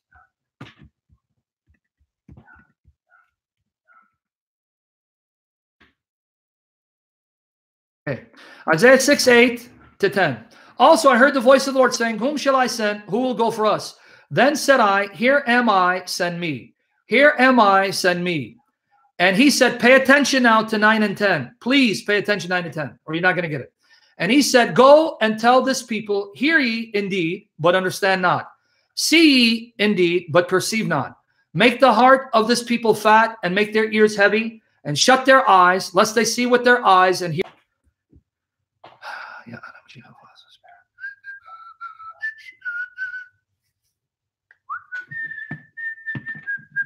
Sorry, start buffering. Lest they see with their eyes and hear with their ears and understand with their heart and convert and be healed. Okay, don't forget what you read in Isaiah 6, 9, and 10. Don't forget. Let's go to, oh, yeah, in Jesus' name, Father, Son, Holy Spirit, be glorified. In Jesus' name, save us. Okay, let's, let's, don't forget what you read in Isaiah 6, 9, and 10. Now let's go to Acts 28, 25 to 27. Acts 28, 25 to 27. I mentioned this in the past. I'm going to repeat it again. Sword of truth. I heard. I hope you're still there and you're trucking. Sometimes you have to be tough in love and disciplined in love to sharpen you and shaken you and waken you. Right? Acts 28, 25 to 27. And when they agreed, not among themselves, pay attention now what Paul quotes. When they agreed not among themselves, they departed. After that, Paul had spoken one word. Well spake the Holy Ghost, well spake the Holy Spirit by Esaias the prophet unto our fathers, saying, well did the Holy Spirit speak by Isaiah when he said, Go unto this people and say, Hearing ye shall hear and shall not understand, and seeing ye shall see and not perceive. For the heart of this people is waxed gross, and their ears are dull of hearing, and their eyes have they closed, lest they should see with their eyes, and hear with their ears, and understand with their heart, and she be, should be converted, I should heal them. Whoa. Whoa. Paul just quoted Isaiah 6, 9 to 10 and said, Those are the words that the Holy Spirit spoke to Isaiah to speak to our fathers. Paul said, The Holy Spirit said those words in Isaiah 6, 9 to 10.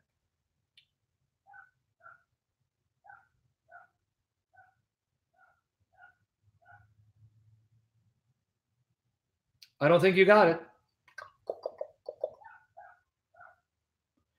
Paul just said, Isaiah 6, 9 to 10 are the words that the Holy Spirit said through Isaiah to the prophets.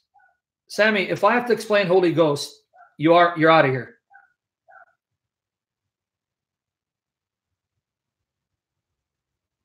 You don't know who the Holy Ghost is? Okay. Did you see Acts 28, 25? Sam, I'm thinking you're not going to last long here.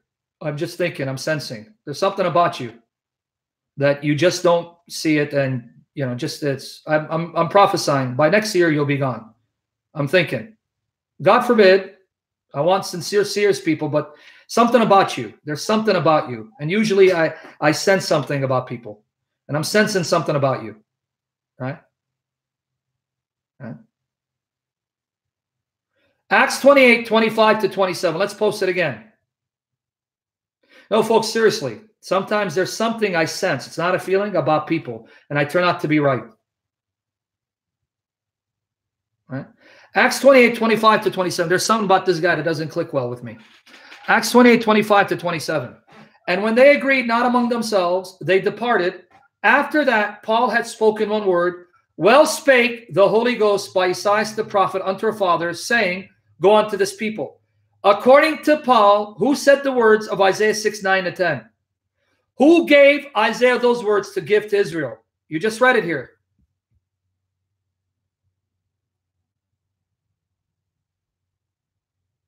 Okay, now you guys confuse me. Here it says the Holy Spirit, the Holy Ghost. But in John 12, it's Jesus Christ.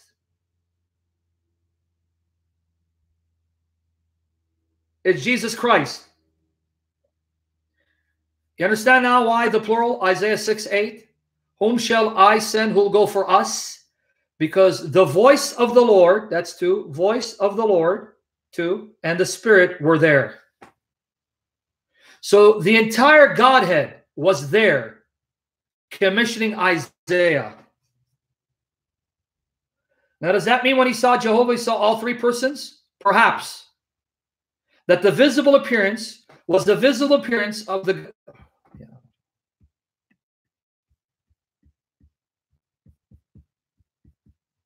You finally see?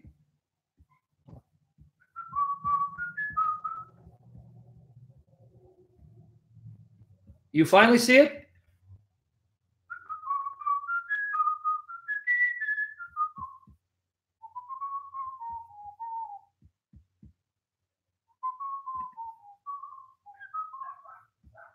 Alrighty then.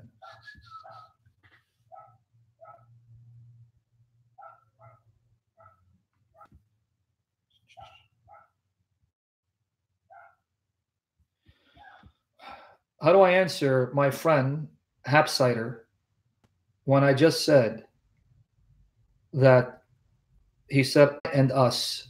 How can this be a modalistic text when, according to modalism, there is no us because it's a single person and the manifestations occur at different times.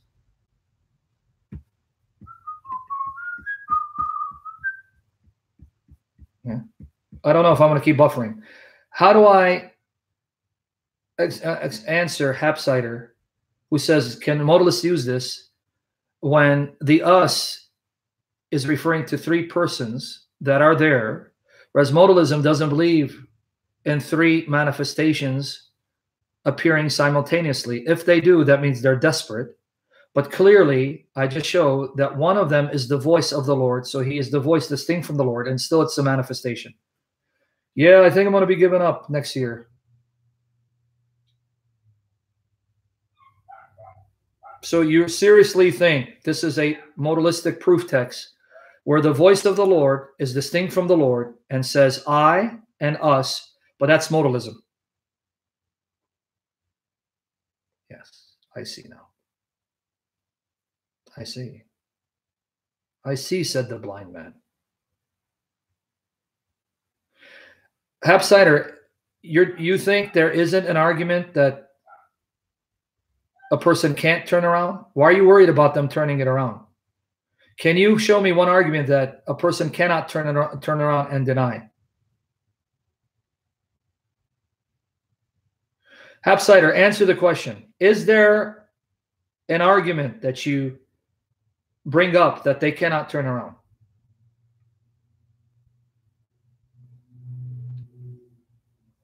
Yeah? Yeah, Happy New Year to you too. Glory to Christ. Is there an argument that they can't turn around? Is there an argument that you bring up that a person cannot turn around, whether anti Trinitarians like modalists or Muslims or rabbis? So you are you serious that you're think, telling me, yeah, you know, they may turn around? Of course they're going to turn around. You're insulting my intelligence. Allahu Akbar, Allahu Akbar. Guys, I, do you want me to continue? Because I think I'm losing you guys, man. I really am. I think I'm losing most of you guys. I don't think you're following me. I think this was kind of too much, and maybe I went into a topic that was too deep. Maybe I should have just held off, you know, because I don't know how much clearer I can make this. I'm trying to make it as clear as I can, to be honest with you.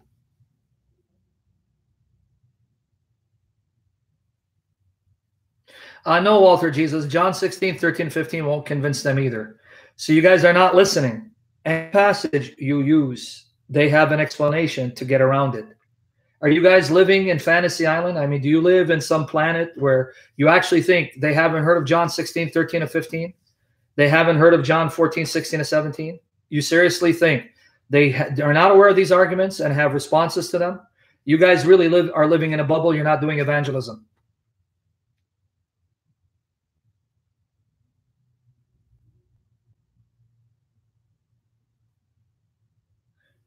You guys haven't heard my debates then with the Oneness Heretic, where everything I brought up, he had a response to. Does that mean his response was solid? No. Was it based on truth? No. Was it factual? No. But he still had a response.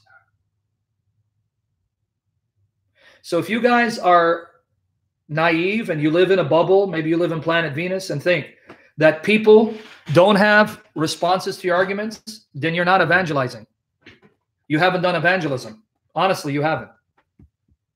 You have not gone out and preached and witnessed to the lost or engaged other people of various viewpoints. You've been sitting home listening to sermons and done nothing with this information because you really think you really think they don't know about Isaiah John 12?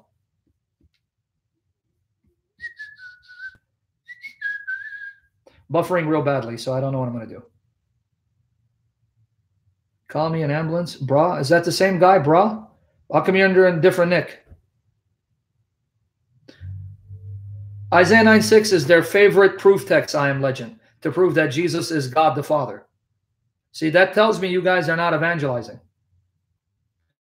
If you guys are evangelizing and witnessing, you would encounter modalists, Mormons, Jehovah's Witnesses, Muslims, and you would see what their arguments are. No, they already have responses to everything you throw at them.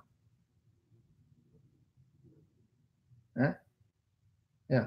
Happy cider is not going to be too happy. He keeps it up. Right? Is it okay now? Is it buffering or is it okay? Happy, happy, joy, joy, happy, happy. Joy. Okay, guys, what do you want me to do? Because you know, actually, yeah, this this uh, interaction kind of shut me down. I don't even know if I can continue because it just it's it's frustrating. I don't know. Sometimes either I'm not clear or you guys are not getting it. Right? How about now? No, I don't think you guys are getting it, honestly. I mean, I don't know. Did you get the point so far? Did you get this point? We've already been over an hour, right? And I tried to show from the Greek and Aramaic that John is saying that the Jehovah that Isaiah saw definitely is Jesus.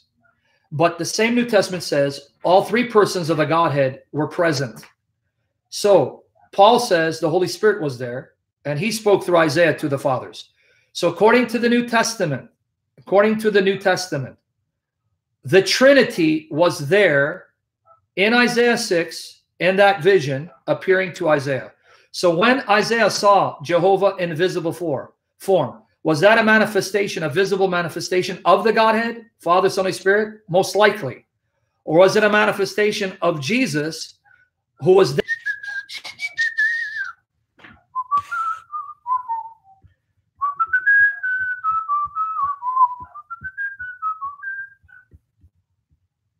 Okay. So what I was trying to say, if it keeps buffering, I'm going to just shut down. What I was trying to say is, does that mean the visible form that Isaiah saw, was that the Godhead appearing visibly as one? That Jehovah God, was it all three persons appearing visibly? Possibly. Or was it the Word of God, Jesus, appearing visibly and speaking on behalf of the Father and the Spirit who were there but didn't appear visibly? You get my point? Either interpretation is valid. It can be the Godhead appearing visibly, or it can be Jesus appearing visibly and speaking on behalf of the Godhead who were there but invisible. Either interpretation would be valid because the New Testament says Jesus was there and the Spirit was there. Paul says in Acts 28 that was the Spirit who said the words of Isaiah 6 9 to 10. John says that was Jesus who was there on the throne. Right? So if you really were listening and following me and not playing games, then did you see that if you look at John 12 carefully and look at the various versions of Isaiah 6 carefully, that it is irrefutable. You cannot refute if you're honest to God, honest to Scripture, and not demonized to pervert Scripture to your shame and destruction. That the Greek of Isaiah, the Aramaic of Isaiah, make it irrefutably clear that John is saying Isaiah did see Jesus appearing visibly as Jehovah God Almighty on the throne, whose glory Isaiah saw. At least you got that from this one hour discussion. Did you get it? And did you then get that in Acts 28, 25, 27, Paul quotes Isaiah 6, 9 to 10, and says those words were uttered by the Holy Spirit. The Holy Spirit said those words through Isaiah to our ancestors, attributing that commission and those words that the prophet was to speak to the Holy Spirit, meaning that Paul believed the Holy Spirit was also there. So that if you take John, Jesus was definitely there. Take Paul, the Holy Spirit was definitely there. That means the Godhead was definitely there appearing to Isaiah, commissioning Isaiah. So that either means all three appeared as Jehovah God, as the one Jehovah God, or Jesus appeared as Jehovah God and was speaking on behalf of the Spirit and the Father. And then the Spirit entered Isaiah to empower Isaiah to say the words of Jesus. Either interpretation is valid because according to New Testament, the Trinity was there. Did you get that? In Jesus' almighty name, for the glory of the triune God. Please get it in Jesus' name. Please. So I don't think that my efforts are in vain. Did you get it? So now, if you did get it, Isaiah 6 8. Now let's see if you got it. Isaiah 6, verse 8. Let's look at it. Also, I heard the voice of the Lord saying, Whom shall I send and who will go for us? If you got it, why does the voice speak in the singular I and then says us, plural? Why does he say us? Who goes for us? Why? If you got it, let's see if you got it. Why? Please, for the glory of the triune God, I pray you get it. Why the plural us, Remy? I know the word speaks.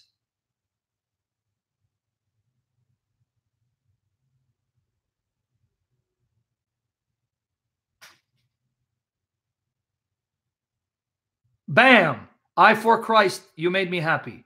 Pedro, Anna, Sargon, Remy, Protestant. Thank you. Sammy still thinks he get it. He didn't get it though. Poor Sammy. Sammy, you're in La La Land. When you're uh, when as because you're in Venus, make sure you visit Saturn. You got it because he's speaking on behalf of the Godhead. The us is because the voice is not just speaking for himself. He's speaking to the Father and the Spirit, and the commissioning of Isaiah is on behalf of him, the Father, and the Spirit. Thank you. Praise the triune God, Father, Son, Spirit. You bless me when you get it. I mean it from my heart. I want you to get this so badly. I want you to learn this so badly and absorb it so badly and proclaim it for the glory of Jesus. Because if you don't get it, you can't use it. Right?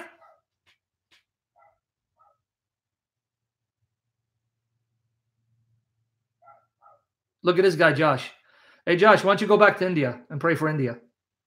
This guy's in, he's in another stadium, right? You got it? All right. Glory to God. Now, just to wrap things up by going into the Aramaic again, here it goes. This is all in my article. Let me give you the link again. That's the article. All this information is there. Let me quote that relevant part again of Isaiah 6 8 from the Aramaic paraphrase of Isaiah.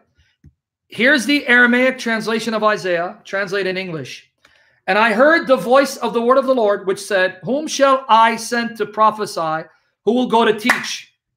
Bam, even the Jews who are not Christians, Jews who are not Christians, could read the Old Testament, and from their reading, they saw, wow, there's this voice, there's this word. That's not simply God speaking audibly, but an actual divine person, an entity, a messenger, an agent sent by God who sits with God on the throne, who commissions people who happens to be God.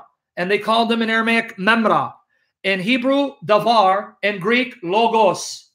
The Jews saw this from their reading of the Old Testament, and they were not Christians. Wow!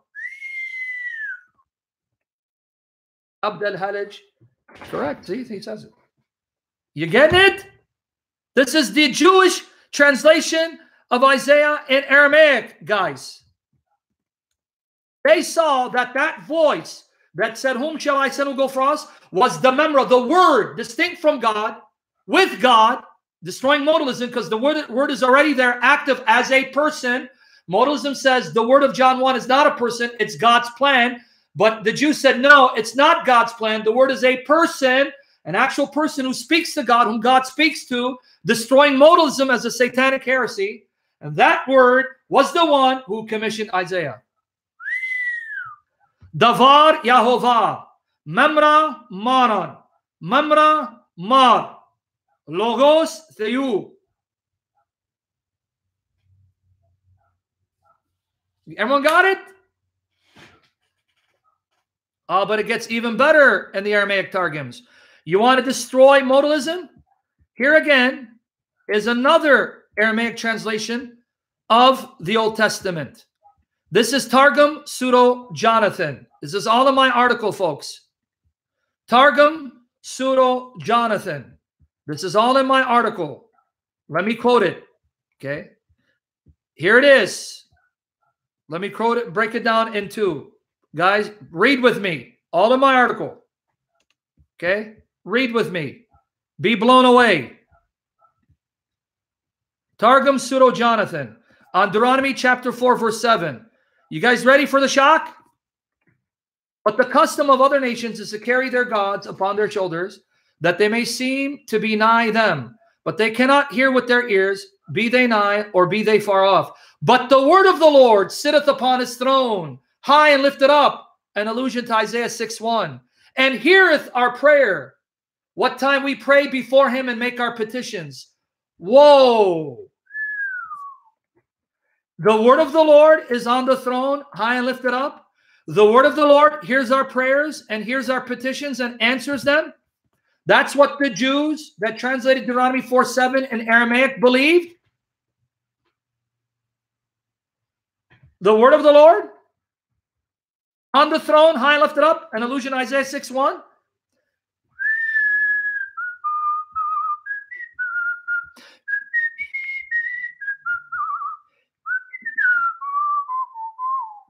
And guess what? The Aramaic paraphrase of Psalm 9 8 says something similar. Aramaic of Psalm 9, verse 8. Here's the link to the English translation. Psalm 9 8, 9, 8 in Aramaic. Notice this. These are all Aramaic paraphrases of the Hebrew scriptures by Jews who are not Christians. Here you go. But as for the word of the Lord, his seat in the highest heaven forever. He has established his throne for judgment. My goodness. The Aramaic paraphrase of Isaiah chapter 6. The Aramaic paraphrase of Deuteronomy 4 7. The Aramaic paraphrase of Psalm 9 8, done by Jews or not Christians. All of which state the word of the Lord sits on the throne, high lifted up. The word of the Lord has established his throne to judge. The word of the Lord is the one who commissions prophets like Isaiah, and the word of the Lord hears our prayers and knows our petition, petitions.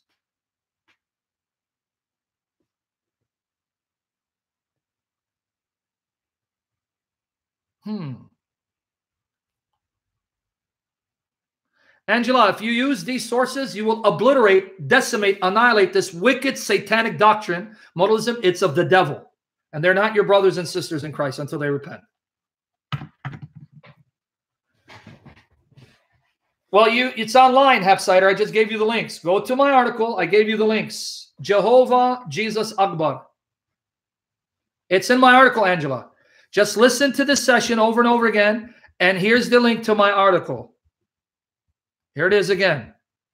Guys, I'm doing it for the glory of Christ to serve you for his sake. I'm doing this because I want you to know this. I want you to understand this. I want you to absorb this. I want you to memorize this. I want you to share this for the glory of the triune God. Please. That's how you bless me. Listen attentively. Don't pontificate. Learn, absorb, ask the Spirit to empower you to then use it for the glory of Christ. Why do you think I'm doing this? Why do you think David does this? Why do you think any of us do it? As our love for Jesus, who tells us, if you love me, feed my sheep. Jesus says, if you love me, Sam, feed my flock. Lord, I'm trying to feed them. I'm imperfect. Sometimes I cause them to stumble. Have mercy on me, but help me to serve them for your glory.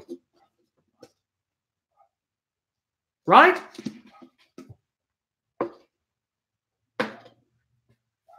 You getting it? Was this amazing or what? I wanted to go out with a bang for the last session for the for the year. This is the last session for the year. I'm not going to see you till next year. Sorry to break your hearts. You won't see me till next year. And I wanted it to be a bang, like wow. And Liza, are you learning? You learned two things, Liza. Die to that idol in your heart so God can have that man for you so you can marry. And you're learning the depth of Scripture, the beauty of Scripture, that Jesus is God. The Trinity is God. He is real. He is alive. And the Bible is the word of the triune God. Man, going out with a bang. Bang, bang. Let me put the icing on the cake. I got to do a part three. I'm not done. We still got a lot more from John 12. Right? Okay, now I'm going to quote this because I want to shock you guys. I'm not going to tell you where it's from. Hold on. I'm going to quote it, but I'm not going to tell you where it's from. Just wait a second. Put down the stones.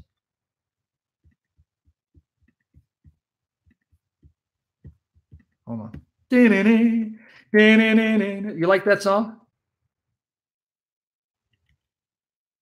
Hold on, let me get it. I don't want to tell you where it's from.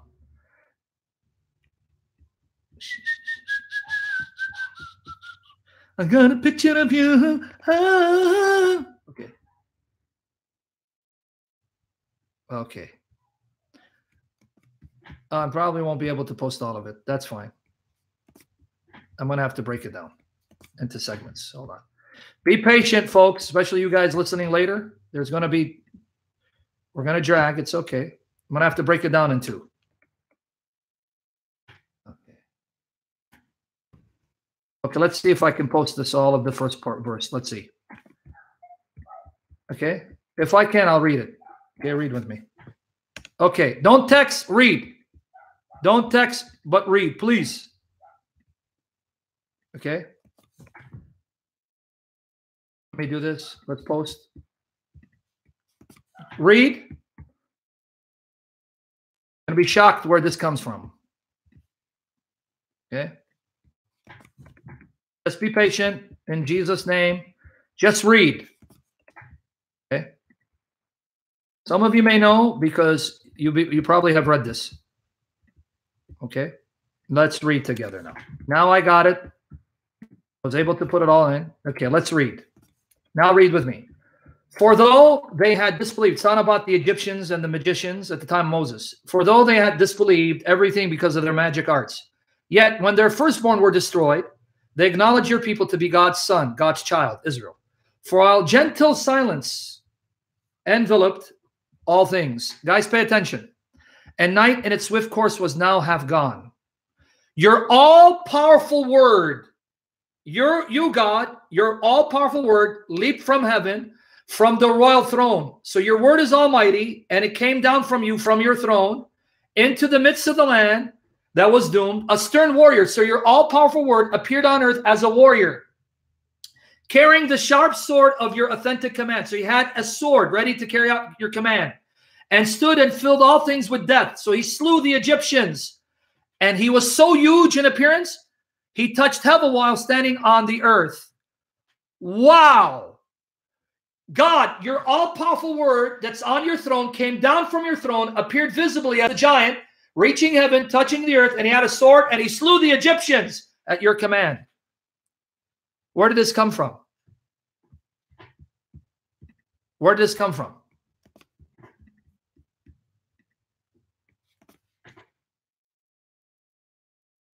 Wisdom of Solomon. You little wicked sinner, Cruz. You had to Google it, you cheater. Wisdom of Solomon, chapter 18, verses 13 to 16. It's one of the books that Protestants and Jews don't accept the scripture, but which Catholics, Orthodox, Nestorians, and Coptics believe is scripture. The Wisdom of Solomon, a Jewish book written by Jews before the time of Christ, which Jews today and Protestants don't accept the scripture, but which Catholics, Roman Catholics, Orthodox, Coptics, Nestorians, the Church of the East all accept as scripture. So, can I ask you a question? How did this Jewish document, written by Jews before Christ became flesh, before John was written, how did this Jewish author or authors know God has his all powerful word as a distinct entity from him who sits on the throne with him, who comes down at God's command and carries out his order to destroy or save. Where did they get that from? They got it from the Old Testament.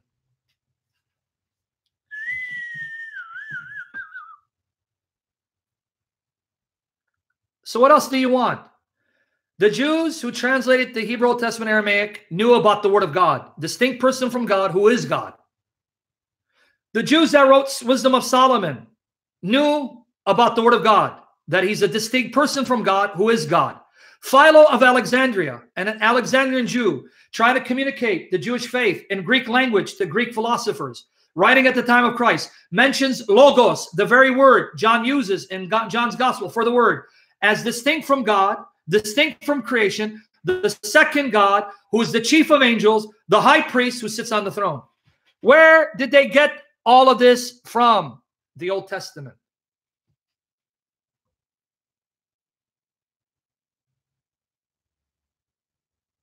You get it?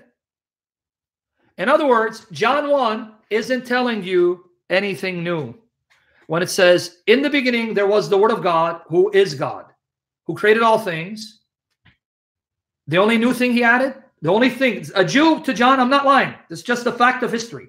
A Jew would have said to John, We know this, John. We know it from the Hebrew scriptures. We know in the Old Testament there's this word distinct from God, who originates from God, who's one with God. Who... Okay.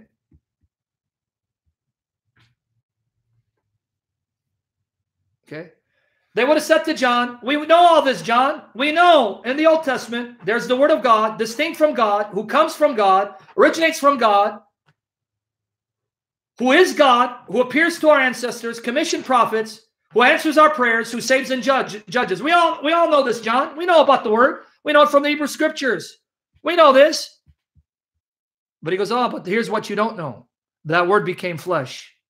That's the only new thing he added. Wait, wait, wait. That word became flesh? Yeah. He became a Jew. He became one of us. He became an Israelite, born of a blessed virgin woman. Who? Jesus of Nazareth. That's the only new thing he added. Did you know that?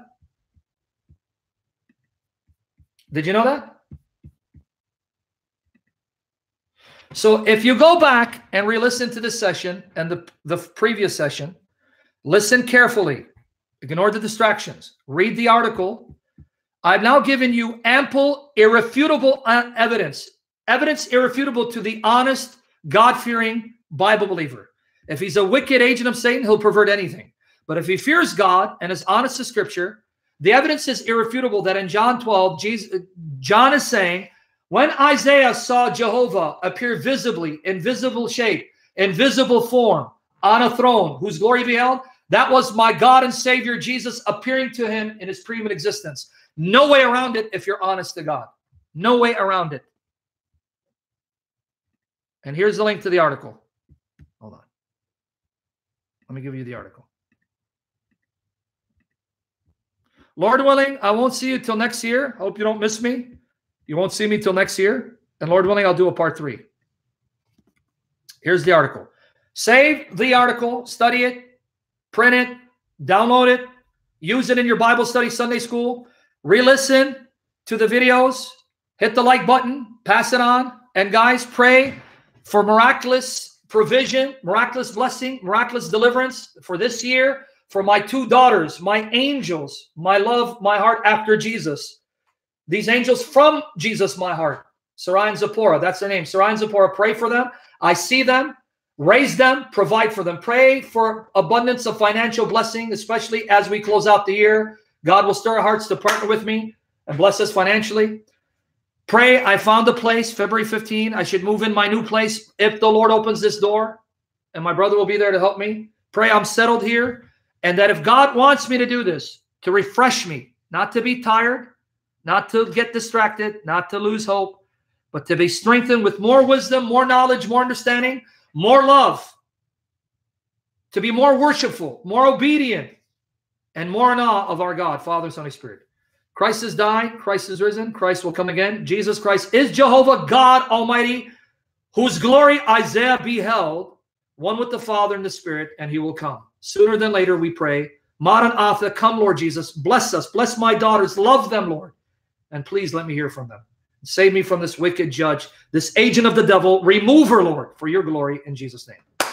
See you guys. Baruch Hashem Yeshua. Take care. See you next year, next decade.